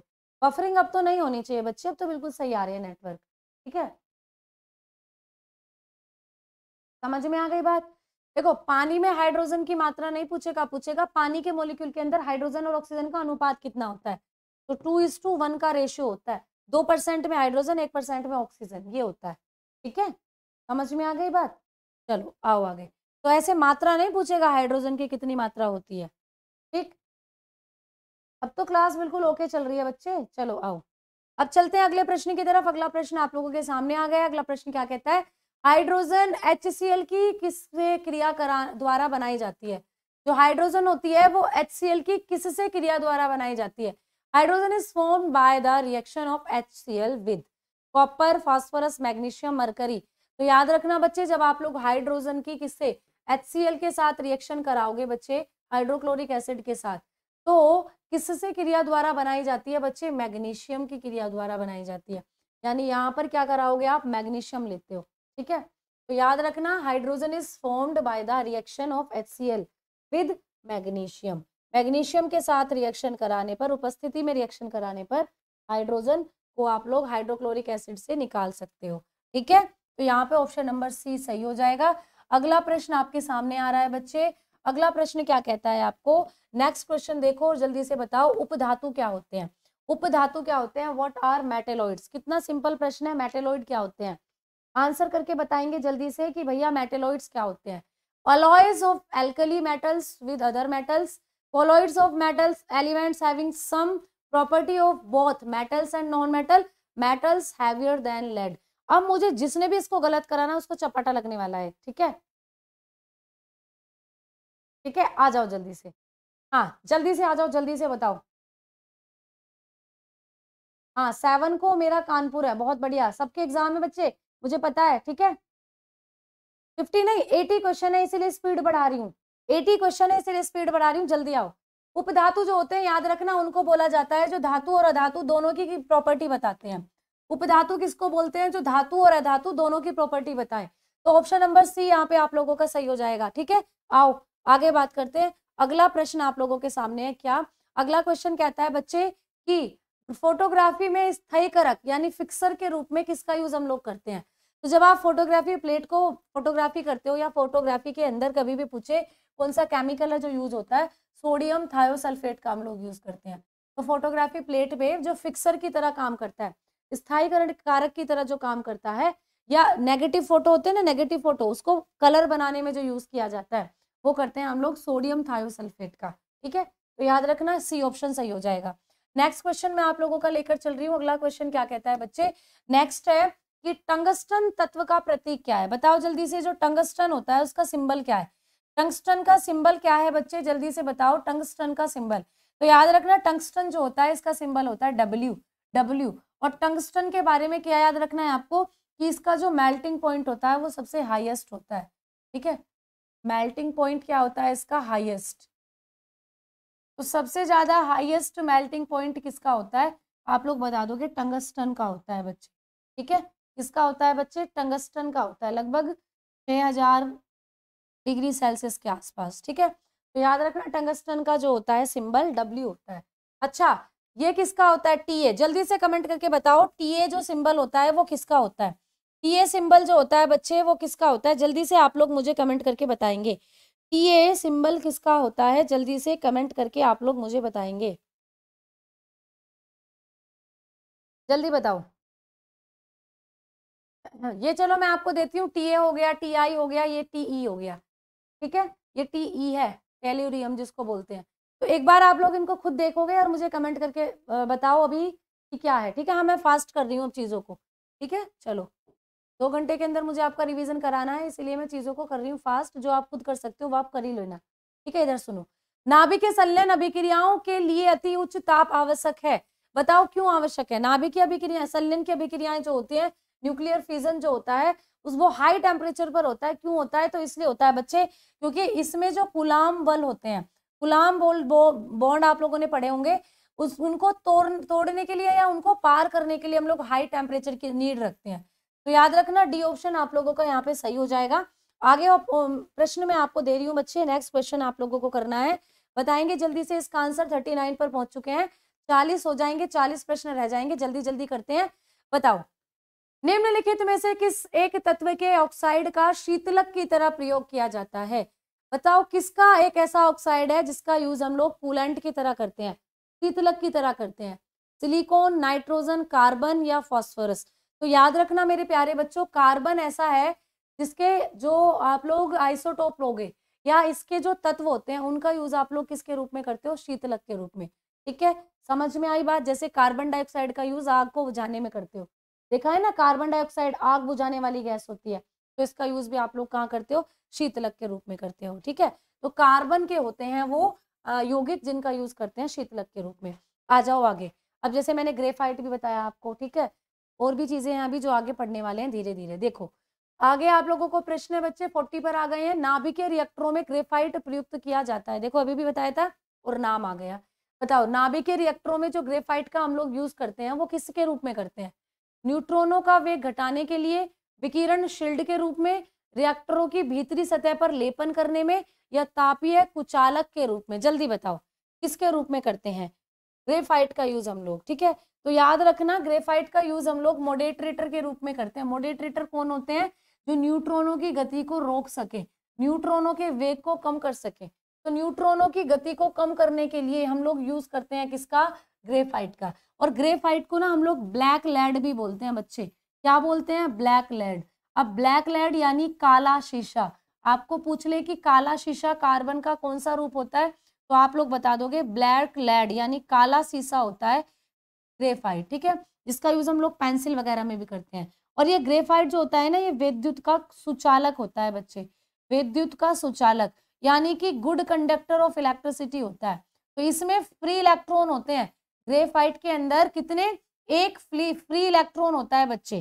कितने इलेक्ट्रॉन होते हैं? फ्री इलेक्ट्रॉन कभी आपको पूछ ले कि ग्रेफाइट में कितने फ्री इलेक्ट्रॉन होते हैं? एक फ्री इलेक्ट्रॉन होता है इसके अंदर, ठीक है? जिसके कारण इसमें बिजली आ सकती है ग्रेफाइट में। तो यहाँ पर ए ऑप्शन आप लोगों का सही हो जाएगा। आगे की तरफ़ बढ़ रहे हैं। अगला प्रश्न आपको कह रहा है कि भैया रेडियो सक्रिय, ठीक है? रेडियो सक्रिय आयोडीन कौन से संबंधित रोगों के निदान हेतु प्रयुक्त होता है? देखो रेडियो एक्टिव अभी बताए थे ना रेडियो एक्टिव तत्व होते हैं कुछ तो जो रेडियो एक्टिव एलिमेंट्स होते हैं, उसमें पूछ रहा है आयोडीन जो होता है, ये किसके लिए, किसके ट्रीटमेंट में यूज़ होता है? थायराइड के ट्रीटमेंट में। जैसे आपको पूछ ले कार्बन फोर्टीन किसके लिए यूज़ होता है? जीवाश्मों की आयु ज्ञात करने में। ठीक है? तो जो फॉसिल्स होते हैं, उनकी आयु को ज्ञात करने में यूज़ करते हैं। आपको पूछ ले सोडियम ट्वेंटी फोर का यूज़ कहाँ करते हैं? ब्लड क्लोटिंग में करते हैं।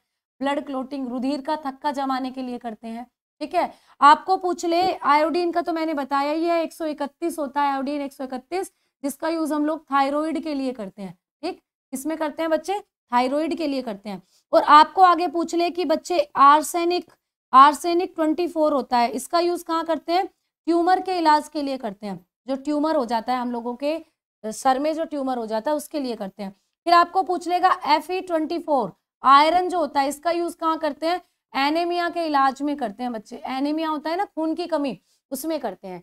तो ये आपको पूछ लिए जाते हैं यूरेनियम 235 यूरेनियम 235 का यूज़ कहाँ करते हैं हम लोग? चट्टानों की आयु ज्ञात करने में। चट्टानों की आयु ज्ञात करने में करते हैं ठीक है? चट्टानों की आयु को ज्ञात करने में करते हैं। कार्बन फोर्टीन बताई चुकी हूँ जीवाश्मों की आयु ज्ञात करने में करते हैं ठीक है? तो ये थोड़े से हैं जो भी आ, आपको एग्ज़ाम में क्वेश्चन फंस जाए तो आप कर पाओगे। आगे बढ़े। जल्दी से स्क्रीनशॉट छाप लो इसका, मैं साइड में ही हूँ। अगली प्रश्न पर मैं आपको लेकर चल रही हूँ। नेक्स्ट क्वेश्चन आप लोगों को क्या कह रहा है? ले लिया होगा बच्चे स्क्रीनशॉट ठीक है? आओ। अगला प्रश्न कहता है फोर्टी टू कार्बन के एक परमाणु में छह प्रोटोन होते हैं। इसकी द्रव्यमान संख्या बारह है, ठीक है? देखो न्यूमेरिकल के फॉर्म पर पूछा गया प्रश्न है। बारह होती है तो कार्बन के एक परमाणु में कितने न्यूट्रॉन होंगे? न्यूट्रॉन पूछ रहा है बच्चे। तो आप लोग जानते हो, जब हम लोग द्रव्यमान संख्या निकालते हैं द्रव्यमान संख्या जब हम लोग निकालते हैं, द्रव्यमान संख्या जिसको हम लोग बोलते हैं एटॉमिक मास या mass number.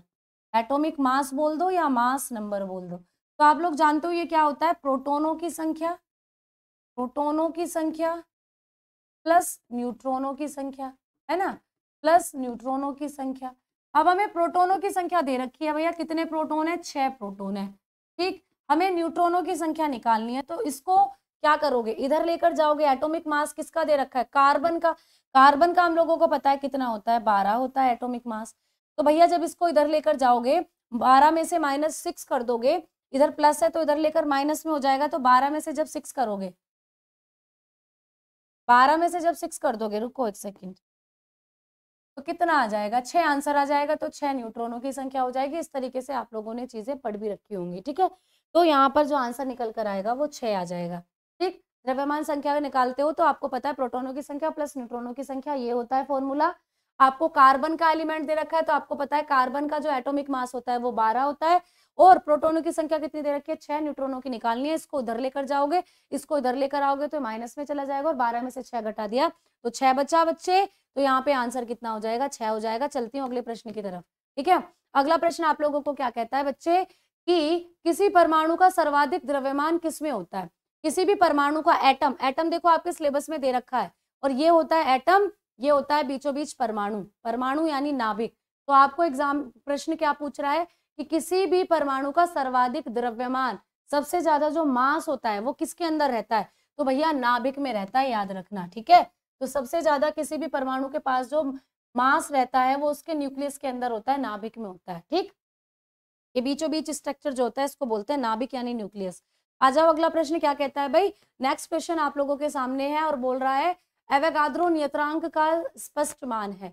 The apparent value of Avogadro constant is Avogadro constant जो होता है, उसकी एक कॉन्स्टेंट वैल्यू होती है बच्चे, जो कि आप लोगों की six point zero two two into ten की पावर ट्वेंटी थ्री होता है। ये वैल्यू होती है, ये एवेगाद्रो नंबर की वैल्यू है। नियर कॉन्स्टेंट वैल्यू है बच्चे। इसको भी याद रखना डायरेक्ट पूछी जा सकती है एग्ज़ाम में। आओ, अगला प्रश्न आपको ले लिया जाए। अगला प्रश्न क्या कहता है भाई? नेक्स्ट क्वेश्चन आप लोगों के सामने आ रहा है। फोर्टी सिक्स नंबर का है, बताओ आंसर निम्नलिखित कथनों में से कौन सा एक सही है? सही स्टेटमेंट बताओ। मैं स्पीड से लेकर चल रही हूँ, जिससे दो घंटे की टारगेट था, बारह अट्ठाईस हो चुके हैं, आधा घंटा है, प्रश्न जल्दी से कर पाए। तो बताओ जल्दी रदर स्टेटमेंट पढ़ो भाई। रदर फोर्ड के ये सब एटम से रिलेटेड है? परमाणु से संबंधित ये आपके क्या है? क्वेश्चन है। रदरफोर्ड के अल्फ़ा कण प्रकीर्ण प्रयोग के परिणाम स्वरूप इलेक्ट्रॉन की खोज हुई। ठीक है? अगला स्टेटमेंट है जे जे थॉमसन ने प्रस्तावित किया था कि परमाणुओं के नाभिक में प्रोटॉन होते हैं। किसी तत्व की परमाणु संख्या वही होती है जो उसके परमाणु के नाभिक में प्रोटोनों की संख्या होती है, या किसी परमाणु की द्रव्यमान संख्या इसके कोशों में इलेक्ट्रॉनों की संख्या के बराबर होती है। अब पूछ क्या रहा है? सही स्टेटमेंट पूछ रहा है, सही कौन सा है? तो बच्चे रदरफोर्ड के अल्फ़ा कण प्रकिरण प्रयोग के परिणाम स्वरूप इलेक्ट्रॉनों की खोज बिल्कुल भी नहीं हुई। इस दौरान तो प्रोटोनों की खोज हुई थी। तो गलत हो गया भैया ये स्टेटमेंट तो ठीक है? अगला है, जे जे थॉमसन से प्रस्तावित, जे जे थॉमसन थॉमसन ने प्रस्तावित किया था कि परमाणु के नाभिक में प्रोटोन होते हैं। ये बात बताई थी रदरफोर्ड ने। उल्टा उल्टा कर दिया, दोनों ही गलत हो गए। किसी तत्व की परमाणु संख्या, एटॉमिक नंबर, वही होती है जो उसके परमाणु में नाभिक के प्रोटोनों की संख्या होती है। ये बिल्कुल सही बात है। और सही स्टेटमेंट पूछ रहा है आपको, ये भी गलत है। तो याद रखना सी वाला ऑप्शन यहाँ पे सही हो जाएगा। क्योंकि भैया एटॉमिक नंबर वही तो है जो प्रोटोनों की संख्या है है ना? चलो, आओ। अगला प्रश्न आप लोगों के सामने क्या आ रहा है? नेक्स्ट क्वेश्चन आपको क्या कहता है बच्चे?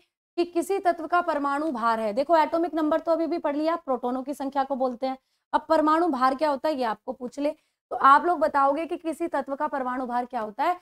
तत्व के एक परमाणु का सही द्रव्यमान तत्व के विभिन्न परमाणुओं का औसत भार या तत्व के परमाणु का अपेक्षित द्रव्यमान। या सदैव एक पूर्ण इकाई। तो सी ऑप्शन यहाँ पर भी सही होगा। एवरेज यहाँ पे याद रखना relative mass of an atom of the element relative mass of the element ठीक है? इस बात को भी याद रखना, इसी को बोलते हैं परमाणु भार। परमाणु भार क्या होता है? उसका अपेक्षित द्रव्यमान जो होगा, किसी भी तत्व का। अगला प्रश्न आपके सामने आ रहा है 48 पर पहुँच चुके हैं बच्चे। 48 प्रश्न आपके सामने है। निम्नलिखित उद्योगों में से किसमें सबसे अधिक जल की आवश्यकता होती है? यानी कि ये उद्योग आपके सामने लिखे हुए हैं, इन सब में जल सबसे ज़्यादा कहाँ लगता है? तो कास्ट से कागज़ बनाने में। कागज़ बनाने में आप लोग लुगदी तैयार करते हो, लुगदी यानी पेस्ट बनाते हो और इस पेस्ट को बनाने में वाटर का बहुत ज़्यादा अमाउंट हम लोगों को चाहिए होता है। तो वुड टू पेपर, कास्ट से लकड़ी बनाने में हम लोगों का पानी का जो अमाउंट है वो सबसे ज़्यादा चाहिए होता है। अगला प्रश्न आपके सामने आ रहा है, कार्बन का शुद्ध रूप क्या है? सबसे प्योरेस्ट फॉर्म कौन सी होती है? कार्बन की। तो याद रखना कार्बन का जो सबसे प्योरेस्ट फॉर्म होती है, ये होती है फुलरीन फुलरीन जिसको बकमिस्टर फुलरीन के नाम से भी जानते हैं हम लोग। सी सिक्सटी भी लिखते हैं इसको हम लोग। सी सिक्सटी फुलरीन ठीक है? तो याद रखना, कई बुक्स में ग्रेफाइट है, लेकिन याद रखना है आपको फुलरीन होता है फुलरीन ठीक? चले आगे।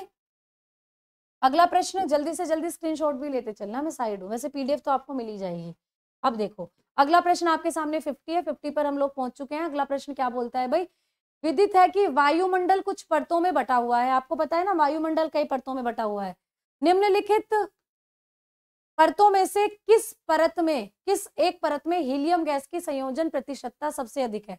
तो याद रखना बहिम मंडल जो होता है हम लोगों का, एक्सोस्फेयर जिसको बोलते हैं। यहाँ पर आप लोगों की जो ओजोन है, ठीक है, इसमें या हीलियम गैस जो है हीलियम की बात हो रही है। हीलियम गैस जो है, वो सबसे ज़्यादा है एक्सोस्फेयर में।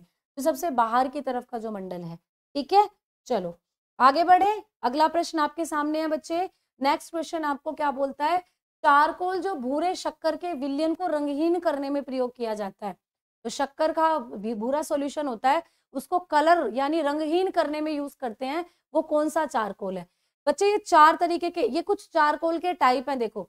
कास्ट चारकोल जो लकड़ी से बनता है, नारियल चारकोल जो नारियल के भूसे को जलाकर बनता है, जंतु चारकोल जो जंतुओं की हड्डियों से बनता है, शर्करा चारकोल जो शर्करा से बनता है, शुगर शुगर को बर्न कर कर, शुगर का भंजन आसवन करने पर। तो याद रखना, जंतु चारकोल होता है, जो चारकोल, जो शक्कर के भूरे विलियन को रंगहीन करने में, रंगीन करने में, देखा है? चीनी चीनी, बोला है कभी चीनी में, सुना है कभी चीनी में कि जानवरों की हड्डियाँ होती हैं, जो चीनी होती हैं। हड्डियाँ तो वो हड्डियाँ नहीं, वो भूरा, ये जंतु चारकोल होता है। तो जंतुओं की हड्डियों को जलाकर उनसे बनाया जाता है और उसको चीनी में मिला दिया जाता है, जिससे चीनी के अंदर ब्राउनिश लुक आ जाता है। ठीक है? आओ आगे। तो जंतु चारकोल याद रखना इस चीज़ को। अगला प्रश्न आपके सामने आ रहा है। नेक्स्ट क्वेश्चन क्या कहता है बच्चे कि कार्बन का सबसे क्रियाशील रूप, कार्बन का सबसे क्रियाशील रूप कौन सा होता है, ये आपको बताना है। तो most reactive form of carbon जो होती है, ये होती है बच्चे चारकोल, ठीक है? चारकोल। सबसे ज़्यादा जो रिएक्टिव होगा, वो होगा चारकोल, ठीक? डायमंड नहीं है ग्रेफाइट नहीं है कोल नहीं है, चारकोल होता है। जो एटमोसफेयर की ऑक्सीजन से रिएक्ट करके जलता है, चारकोल, ठीक है? आओ आगे। अगला प्रश्न आपके सामने है, सबसे अधिक कैलोरी मान किसका होता है? सबसे अधिक कैलोरी मान जब बच्चे याद रखना एंथ्रासाइट का होता है, क्योंकि एंथ्रासाइट में ही कार्बन की जो मात्रा होती है कार्बन की मात्रा सबसे ज़्यादा होती है। कितनी होती है? लगभग 85 से 95 के आसपास इसमें कार्बन पाया जाता है। और यही सबसे अच्छा कोयले का रूप होती है। तो बेस्ट क्वालिटी का जो कोयला होता है, ये यही होता है। कौन सा बच्चे? एंथ्रासाइनिन सबसे कम ये, फिर ये फिर ये, ठीक है? तो पीट सबसे कम क्वालिटी का, सबसे लो सबसे निम्न क्वालिटी का क्या होता है? कोयला होता है, ठीक है? जिसमें केवल 60 से 50 से 60 प्रतिशत ही कार्बन की मात्रा मिलती है। सबसे ज़्यादा एंथ्रासाइट में मिलती है, इस बात को भी याद रखना। आगे आ जाओ। अगला प्रश्न आपके सामने है, सबसे अधिक कठोर है। बताओ सबसे अधिक कठोर कौन है? तो जिसमें कार्बन जितना ज़्यादा, वही सबसे कठोर। कार्बन किसमें सबसे ज़्यादा था? एंथ्रासाइट में। तो एंथ्रासाइट क्या होता है? ये सबसे कठोर होता है। ठीक है? यही सबसे क्या होता है बच्चे? कठोर होता है। मैं कमेंट भी लगातार आपके देख रही हूँ। हाँ अब बायोलॉजी आएगी। ठीक है? अब बायो ही आने वाली है आप लोगों की। चलो, आ जाओ। एक दो क्वेश्चन और है, फिर बायो आने वाली है। ग्रेफाइट में कार्बन परमाणु की दो परतों के बीच की दूरी कितनी होती है? तो याद रखना, जो ग्रेफाइट है ना, उसमें कुछ परतें होती हैं। एक परत ये हो गई, एक परत ये हो गई तो इससे इस परत के बीच की जो दूरी है, वो 340 पिकोमी होती है। याद रखना 340 पिकोमी। आओ, अगला प्रश्न ले लिया जाए। अगला प्रश्न क्या कहता है बच्चे? कि ग्रेफाइट नाभिकीय रिएक्टरों में प्रयोग किया जाता है। अभी अभी आपको बताया था कि न्यूट्रॉनों के वेग को कम करने के लिए। है ना, न्यूट्रॉनों के वेग को कम करने के लिए। अगला प्रश्न है, अस्थायी कठोरता दूर की जाती है। तो अस्थायी कठोरता आप लोग कैसे दूर कर सकते हो? कैल्शियम हाइड्रोक्साइड मिलाकर, ठीक है? कैल्शियम हाइड्रोक्साइड मिलाकर। आओ। अब आ जाओ, अगला प्रश्न आपके सामने है, मांसपेशियों के समुचित कार्य के लिए जिन खनिजों की आवश्यकता पड़ती है, उनकी सही मात्रा होती है। बताओ the minerals that are required in the right amount for proper functioning of muscles are जो हमारी मसल्स हैं, उनको अच्छे से काम करवाना है तो कौन से कौन से मिनरल हम लोगों को खाने चाहिए? तो याद रखना सोडियम और पोटेशियम खाने चाहिए बच्चे। सोडियम और पोटेशियम बड़ी ज़रूरी होते हैं हमारी मसल्स के लिए। ठीक? आओ, अगला प्रश्न क्या है आप लोगों के सामने? मानव शरीर में वसा का संग्रह होता है। जो हम लोगों का शरीर है, जो हम लोग फैट खाते हैं वो हमारी बॉडी में कहाँ जमा होता है जाकर? तो जो हमारी बॉडी के अंदर फैट है बच्चे, वो एडिपोज टिश्यू में जमा होता है, यानी वसीय उतकों में। तो वसा का जमा वसीय उतकों में होता है। इंग्लिश में बोलते हैं एडिपोज टिश्यू ठीक है? समझ में आ गई बात आप लोगों को? चलो, आगे आ जाओ। तो ये भी प्रश्न इंपॉर्टेंट है एग्ज़ाम में आता है। अगला प्रश्न क्या है बच्चे? निम्नलिखित में से कौन सा अम्ल विटामिन सी में उपस्थित होता है? बताओ, बड़ा ही बेहतरीन सा प्रश्न है। विटामिन सी आप लोगों ने पढ़ी होगी तो विटामिन सी के अंदर कौन सा अम्ल रहता है? Citric acid ascorbic acid, lactic acid या फॉलिक एसिड? बताओ जल्दी से। जल्दी बताओ। आप लोगों को पता होगा कि एस्कॉर्बिक एसिड जो होता है, एस्कॉर्बिक अम्ल जो होता है, ये आप लोगों की विटामिन सी के अंदर होता है। और इसीलिए विटामिन सी का केमिकल नेम एस्कॉर्बिक एसिड होता है, ठीक है? अच्छा ये सिट्रिक एसिड किसमें होता है? ये सिट्रिक एसिड भी खट्टे पदार्थों में होता है। खट्टे पदार्थों में विटामिन सी भी होती है और विटामिन सी में बेसिकली होता है एस्कॉर्बिक एसिड लेकिन सिट्रिक एसिड भी खट्टे पदार्थों में होता है। लैक्टिक एसिड किसमें होता है? ये दूध में भी होता है बच्चे। दूध में होता है लैक्टिक एसिड ठीक है? और जो चींटी कई बार आप लोगों को काट लेती है, लाल चींटी, ठीक है? उसमें, उसके डंक में भी क्या होता है? लैक्टिक एसिड होता है। फॉलिक एसिड कहाँ होता है बच्चे? फॉलिक एसिड आपके आयरन वाली चीज़ों में होता है।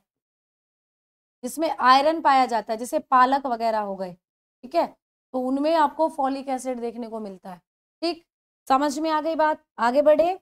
चलो, अगला प्रश्न आपके सामने क्या है? कार्बोहाइड्रेट पौधों और जंतुओं में किस रूप में संचित होते हैं? तो कार्बोहाइड्रेट होते हैं, वो पौधों के अंदर और जंतुओं के अंदर किस फॉर्म में, किस रूप में कन्वर्ट होकर स्टोर हो जाते हैं? तो जब बात कार्बोहाइड्रेट की चल रही है बच्चे तो याद रखना, पौधों के अंदर तो कार्बोहाइड्रेट स्टार्च के रूप में कन्वर्ट हो जाते हैं और हमारे अंदर ग्लाइकोजन के रूप में। तो बी वाला ऑप्शन सही हो जाएगा।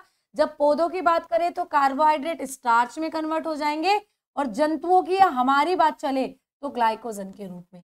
तो बी ऑप्शन यहाँ पे सही हो जाएगा। ठीक है? समझ में आ गई बात? चलो। आगे बात करते हैं, अगला प्रश्न आपके सामने निम्नलिखित में से कौन सा ओलिगोसेकेराइड का समूह है? देखो ये ओलिगोसेकेराइड क्या होते हैं? तो ये ओलिगोसेकेराइड एक तरीके के कार्बोहाइड्रेट हैं बच्चे। क्या है? कार्बोहाइड्रेट्स होते हैं ये, ठीक है? ये कार्बोहाइड्रेट के टाइप है। देखो, कार्बोहाइड्रेट तीन तरीके के होते हैं बच्चों। तीन तरीके के कौन कौन से एक होते हैं? मोनोसेकेराइड मोनोसेकेराइड, ठीक है? एक होते हैं ओलिगोसेकेराइड ओलिगोसेकेराइड और एक होते हैं पोलीसेकेराइड ठीक है? पोलीसेकेराइड तीन तरीके के कार्बोहाइड्रेट होते हैं। अब इसमें से आपको याद क्या रखना है कि मैडम जी मोनोसेकेराइड के एग्ज़ाम्पल कौन कौन हो सकते हैं? तो मोनोसेकेराइड में याद रखना ग्लूकोज फ्रक्टोज और बच्चे गैलेक्टोज ये होते हैं आप लोगों के मोनोसेकेराइड के एग्ज़ाम्पल अगर आपको पूछ ले कि ये ओलिगोसेकेराइड के कौन कौन होते हैं? तो सुक्रोज सुक्रोज, ठीक है? लैक्टोज और माल्टोज। ये तीन होते हैं आप लोगों के ओलिगोसेकेराइड के। लेकिन अगर पोलीसेकेराइड के पूछ ले तो पोलीसेकेराइड के बहुत सारे एग्ज़ाम्पल हैं। जैसे काइटीन होता है, ठीक है? जैसे कि बच्चे, ये भी अभी पढ़ाया था, स्टार्च होता है। ठीक है? ग्लाइकोजन होता है। ये होते हैं पोलीसेकेराइड, ठीक है?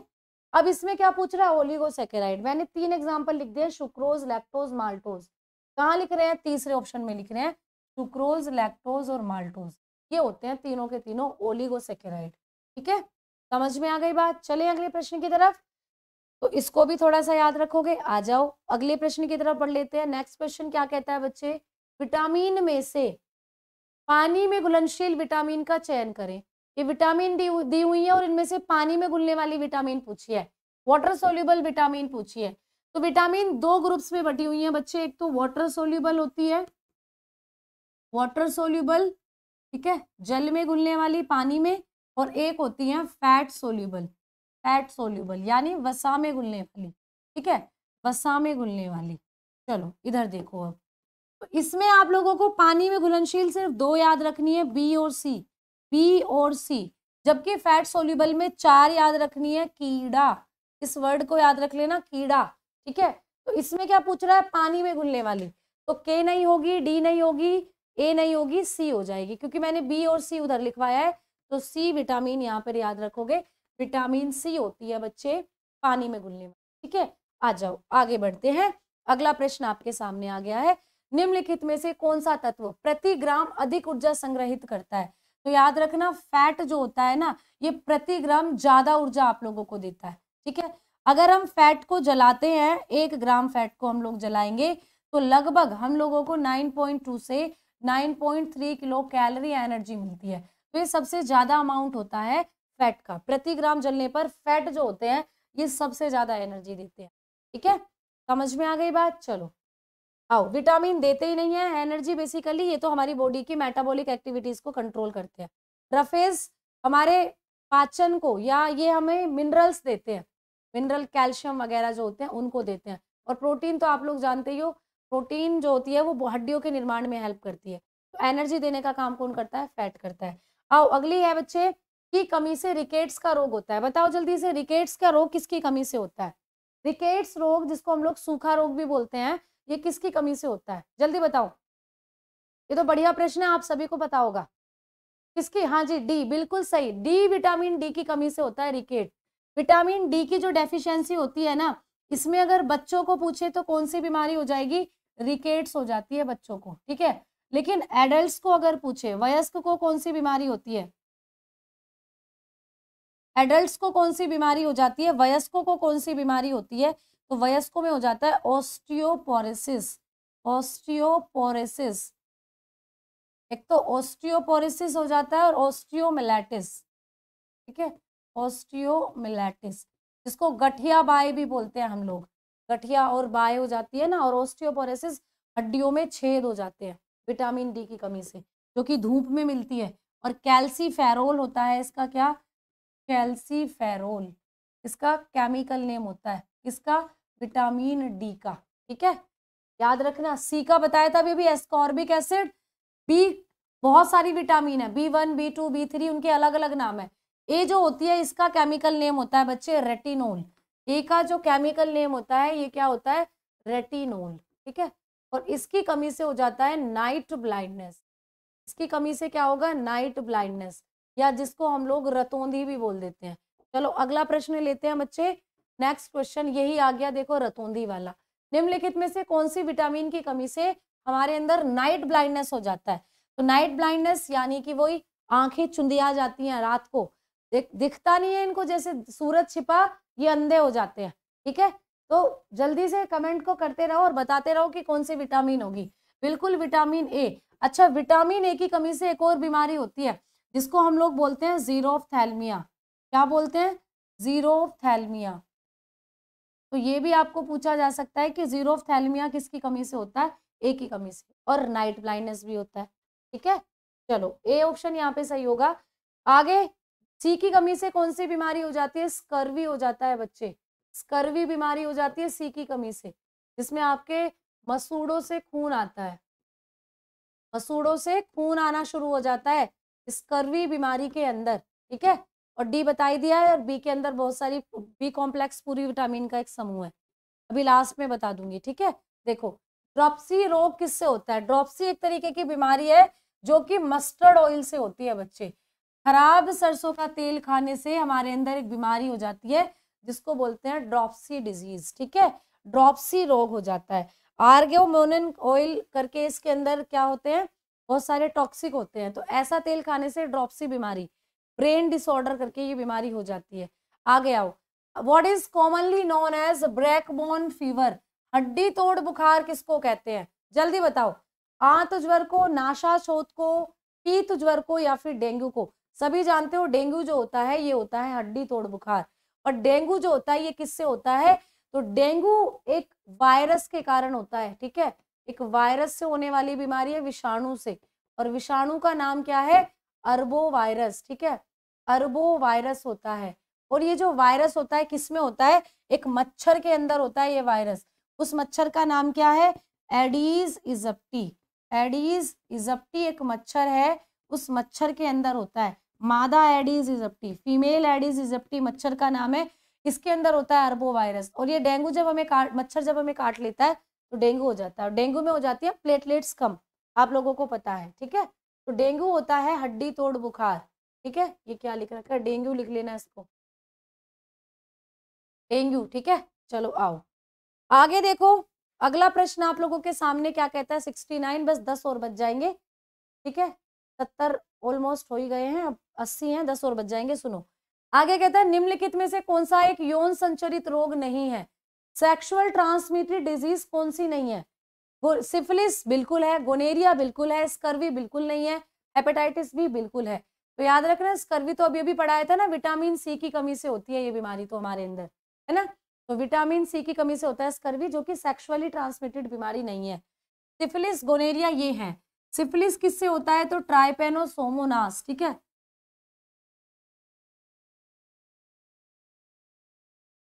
पैलेडियम। इससे होती है ये बीमारी हमारे अंदर? बैक्टीरिया का नाम है, ये बैक्टीरिया से होते हैं।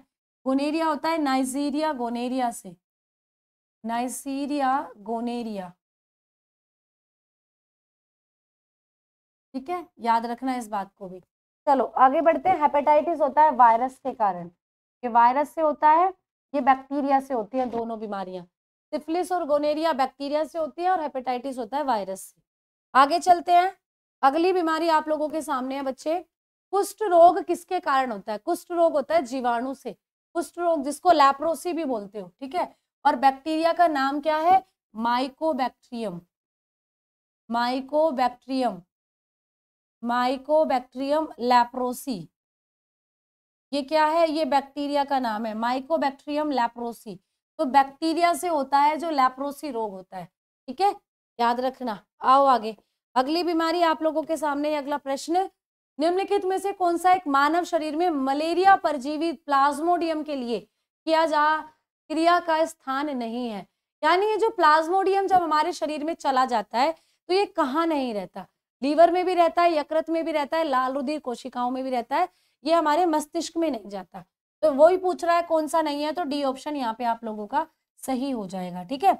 ये जो प्लाज्मोडियम होता है बच्चे, जो कि ये क्या है? प्रोटोजोवा है। क्या है? प्रोटोजोवा ये प्रोटोजोवा जब हमारे अंदर जाता है तो किसके द्वारा जाता है? ये जाता है फीमेल एनाफिल्स मच्छर के द्वारा। फीमेल एनाफिल्स मच्छर, मादा एनाफिल्स मच्छर होती है, जो हमें काटती है और हमारे अंदर इस प्लाज्मोडियम को छोड़ आती है। और ये प्लाज्मोडियम हमारे लीवर में किडनी में और हमारे ब्लड में घूमता रहता है, मस्तिष्क में नहीं जाता वैसे ये, ठीक है? आओ, अगला प्रश्न क्या कहता है बच्चे? चूहे किसके रोगाणुओं के स्थानांतरण के लिए उत्तरदायी होते हैं? तो चूहे जो होते हैं, वो किसके स्थानांतरण के लिए उत्तरदायी है? मलेरिया टाइफॉइड प्लेग या फिर रेबीज। तो आप लोग सभी जानते हो चूहे करते हैं प्लेग रोग, प्लेग, ठीक है? और प्लेग किससे होने वाली बीमारी है? बैक्टीरिया से। प्लेग होता है बच्चे जीवाणु से। और जीवाणु का नाम क्या है? जीवाणु का नाम है यर्सीनिया यर्सीनिया पिस्टिस, ठीक है? Yersinia pestis. ये है जीवाणु का नाम, जो कि हमारे अंदर करता है प्लेग रोग, ठीक है? यर्सीनिया पिस्टिस चलो, आ जाओ अगली बीमारी पर चलते हैं। अच्छा रेबीज किससे होती है? रेबीज वायरस से होती है। वायरस और वायरस का नाम यही है रेबीज वायरस रेबीज वायरस ठीक है? टाइफाइड किससे होती है? टाइफाइड बैक्टीरिया से होती है। टाइफाइड बैक्टीरिया से होती है, जीवाणु से। और सोलमेनेला सोलमेनेला टाइफी बैक्टीरिया है जिससे होती है, ठीक है? मलेरिया अभी अभी बताया था, प्रोटोजोआ से होता है, प्लाज्मोडियम। प्लाज्मोडियम से होता है, अभी अभी बताया था, ठीक है? चलो, आगे बढ़े। डिज़ीज़ भी आपके टॉपिक दिया हुआ है, इसीलिए ज़्यादा प्रश्न डिज़ीज़ से हैं बच्चे। टीनियसिस का संक्रमण मुख्यतः किसके कारण होता है? देखो, टीनियसिस एक बीमारी है जिसमें हम कम पका हुआ मांस अगर खा जाएँ, ठीक है? टीनिया सेजिनेटा होता है। Taenia saginata. एक प्रोटोजोआ है ये। कौन है बच्चे? प्रोटोजोआ। ये प्रोटोजोआ कच्चे मांस में होता है। ठीक है? कच्चे मांस में होता है ये प्रोटोजोआ। तो जब आप लोग बीफ यानी गाय वगैरह का कच्चा मांस खाते हो तो ये हमारे अंदर चला जाता है और करता है टीनियसिस रोग। ठीक है? आंतों का संक्रमण हो जाता है जिसको बोलते हैं। कम पका हुआ भोजन खाने से होता है टीनियसिस ठीक है? आओ आगे। कालाजार किसके द्वारा होता है? कालाजार। कालाजार जिसको हम लोग एक और नाम से जानते हैं, इसको डम डम फीवर भी बोलते हैं। डम डम फीवर। तो डम डम फीवर होता है बच्चे प्रोटोजोवा से। इससे होती है ये बीमारी? प्रोटोजोवा और कौन सा प्रोटोजोवा तो लीशमेनिया, ठीक है? लीशमेनिया डोनोवानी है प्रोटोजोवा का पूरा नाम याद रखना, इससे होता है, ठीक है? तो डम डम फीवर, कालाजार रोग जो होता है, ये होता है लीशमेनिया डोनोवानी से। सोलमेनेला अभी अभी बताया था, टाइफाइड करता है। टाइफाइड। ट्रिपनोसोमा करता है हमारे अंदर निंद्रा सोत या स्लीपिंग सिकनेस जिसको बोलते हैं। Sleeping sickness. ठीक है? और एस्केरिस, एस्केरेसिस करता है। एस्केरियसिस करता है। ठीक है? चलो। आगे आप लोगों को पढ़ना है बच्चे, अगला नंबर आ गया है, पीलियो के पीलिया या पोलियो है ये, ठीक है? पोलियो के टीके का निर्माण सर्वप्रथम किसके द्वारा किया गया था? Who made the polio vaccination first. Polio की वैक्सीनेशन किसने बनाई, बताओ जल्दी। ऐप पर साइंस की रिकॉर्डेड क्लास नहीं है? बिल्कुल होगी बच्चे, अगर ऐप खरीदा है तो वहाँ बिल्कुल मिलेंगी। नहीं है तो पहले बताते हैं आप लोग, अब तो आपका एग्ज़ाम ही है, ठीक है? देखो इधर। जॉन सोल्क या जोनास सोल्क बोलते हैं इनको, ठीक है? तो साल्क जी ने डिस्कवर करा था पोलियो का जो टीका होता है, ठीक? चले आगे? चलो। मैंडलिव जी ने आनुवांशिकी के नियम दिए थे। आनुवांशिकी। ठीक है? आनुवांशिकी के नियम दिए थे और वॉटसन जी ने डीएनए का मॉडल बताया था। लुइस पाश्चर ने पाश्चुराइजेशन। पाश्चुराइजेशन, यानी कि दूध के जो पाश्चुराइजेशन क्रिया है, उसके बारे में बताया था कि दूध को बैक्टीरिया फ्री हम लोग कर देते हैं और वो लंबे समय तक दूध चल सकता है। आओ, अगला प्रश्न। सेवेंटी सिक्स पर पहुँच चुके हैं। निम्नलिखित में से कौन सा सबसे अधिक विद्युत ऋणात्मक तत्व है? केमिस्ट्री का एक प्रश्न आ गया है तो याद रखना फुलरीन होती है सबसे विद्युत ऋणात्मक तत्व, ठीक है? यानी कि ये मोस्ट इलेक्ट्रोनेगेटिविटी दिखाती है फ्लोरीन लेकिन आपको कभी एग्ज़ाम में पूछ लेना कि सबसे ज़्यादा इलेक्ट्रॉन बंधुता किसकी होती है? तो मैं यहाँ लिख रही हूँ, सबसे ज़्यादा इलेक्ट्रॉन बंधुता होती है क्लोरीन की। ठीक है? मोस्ट इलेक्ट्रो एफिनिटी सबसे ज़्यादा इलेक्ट्रॉन एफिनिटी किसकी होती है बच्चे? क्लोरीन ये क्लोरीन की होती है। और सबसे ज़्यादा विद्युत ऋणात्मक कौन होता है? तो सबसे ज़्यादा विद्युत ऋणात्मक होती है क्लोरीन ये फिलरीन ठीक है? फिलरीन याद रखना फिलरीन कंफ्यूज नहीं होना आप लोगों को। चलो आओ आगे। आगे बात कर रहे हैं बच्चे, सोडियम को मिट्टी के तेल में डुबाकर रखा जाता है। क्यों? जो सोडियम होता है ना, ये बहुत ज़्यादा रिएक्टिव होता है। बहुत ज़्यादा वेरी रिएक्टिव होता है, बहुत ज़्यादा, इसीलिए इसको कैरोसिन ऑयल में डुबा कर रखते हैं। मिट्टी के तेल में डुबा कर रखते हैं। आप लोग ये बात जानते भी होंगे। ठीक है? चलो। नेक्स्ट क्वेश्चन आप लोगों के सामने आ रहा है। पारा क्या है? बताओ पारा, जिसको मरकरी बोलते हैं। मरकरी क्या है? मरकरी। तो याद रखना, मरकरी एक ऐसी मेटल है, ऐसी धातु है जो लिक्विड अवस्था में होती है। तो मरकरी को हम लोग बोलते हैं लिक्विड मेटल ठीक है? तो मरकरी है क्या बच्चे? लिक्विड मेटल यानी कि पारा होती है, एक तरल धातु, ठीक? बाकी सब तो ठोस ही होती है। अच्छा तरल अधातु पूछ ले तो ब्रोमीन होती है। तरल अधातु पूछ ले तो ब्रोमीन होती है। और तरल धातु पूछ ले तो पारा होती है, ठीक है? एक ठोस धातु धातु तो सभी ठोस होती ही है, और ठोस अधातु पूछ ले तो कार्बन। ठोस अधातु पूछ ले तो कार्बन होती है, ठीक है? आयोडीन होती है। ठीक, चलो। आगे बात करते हैं हम लोग, गैलीना और लिथार्गे, निम्नलिखित में से किस धातु के अयस्क हैं? तो गैलीना होता है बच्चे लेड का, ठीक है? लेड यानी कि सीसा जिसको बोलते हैं। तो ये सीसा का होते हैं मिश्र धातु। या एक तरीके से अयस्क, और जिसको बोलते हैं, अयस्क, ठीक है? चलो, अब लास्ट प्रश्न आप लोगों के सामने आ रहा है। अब जल्दी से बता दो, निम्नलिखित में से कौन सी धातु कॉपर सल्फेट विलियन से कॉपर जमा कर सकती है? जल्दी से बताओ कॉपर सल्फेट विलियन से कौन सी धातु कॉपर को जमा कर सकती है? तो ये है आप लोगों का लोहा, जो कि कॉपर सल्फेट विलियन से कॉपर को जमा कर सकती है। क्योंकि गोल्ड प्लेटिनम मरकरी ये क्या होते हैं? ये आप लोगों के, ये बुधनी है ये मरकरी है पारा, एच जिसका सिंबल होता है, ये आप लोगों के लोहे से नीचे रखे हुए हैं। तो लोहा ज़्यादा रिएक्टिव है तो इसीलिए कॉपर सल्फेट से कॉपर को क्या कर देगा लोहा? लोहा क्या करेगा? कॉपर को मारेगा धक्का और खुद जाकर जुड़ जाएगा सल्फेट के साथ, और कॉपर हो गया अलग, ठीक है? तो ये लोहा कर सकता है ये काम, क्योंकि लोहे में है इतनी पावर ठीक?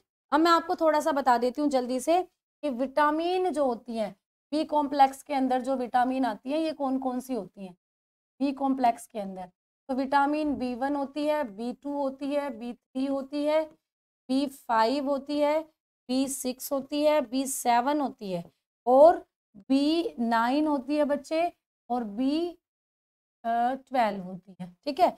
अब इनके फटाक से आप लोग केमिकल नेम देख लो एक एक लाइन में, इसको बोलते हैं थाइमीन इसका वैज्ञानिक नाम होता है थाइमीन? इसका वैज्ञानिक नाम होता है राइबोफ्लेविन? राइबोफ्लेविन। राइबोफ्लेविन इसका नाम होता है? नियासिन या निकोटेनिक एसिड?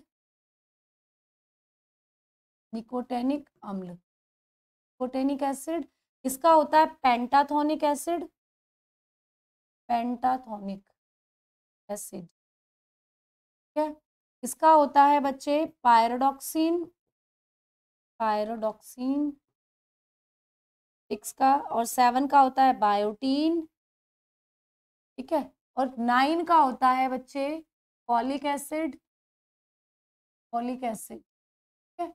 और ट्वेल्व का होता है साइनोकोबलामीन। साइनोकोबलामीन।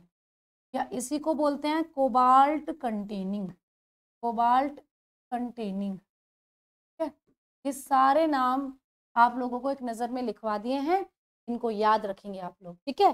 तो बच्चों, ये थे आपके आज के प्रश्न, जो कि आप लोग जानते हो इम्पोर्टेंट थे आपके नेवी के एग्ज़ाम के लिए, सात तारीख को आपका एग्ज़ाम होने वाला है। स्क्रीनशॉट आप ले लेना, मैं साइड में हूँ बिल्कुल। एक बार इनको जस्ट देख लेना एग्ज़ाम देने जाओ उससे पहले, क्योंकि विटामिन या पोषण वाला जो टॉपिक है, वो आपके सिलेबस में इंक्लूड करा हुआ है। तो वहाँ से आपको प्रश्न आ सकते हैं, ठीक है? मज़ा आ गया मैम जी थैंक्स तो क्लास अच्छी लगी हो आप सभी बच्चों को? तो एक बार क्लास को शेयर कर देंगे लाइक कर देंगे। मैंने पूरी पूरी अपनी तरफ़ से कोशिश करी है कि ऐसे प्रश्न फंसाऊं जो आपको एग्ज़ाम में फंसे, ठीक है? तो अच्छे से एग्ज़ाम देकर आइएगा, प्रश्न मिलते हैं तो बताइएगा भी ज़रूर कमेंट कर दीजिएगा नीचे क्लास के, ठीक है बच्चों? तो धन्यवाद सभी प्यारे बच्चों का, राम राम सभी बच्चों को, जाकर अब थोड़ा सा खा लीजिए। मैं भी खा लेती हूँ, ठीक है? चलो तो धन्यवाद सभी प्यारे बच्चों का। पीडीएफ आप लोगों को ऐप के अंदर फ्री पीडीएफ फोल्डर में अवेलेबल हो जाएगी, वहाँ मिल जाएगी। ठीक है? चलिए। Okay ma'am okay ma'am thanks ma'am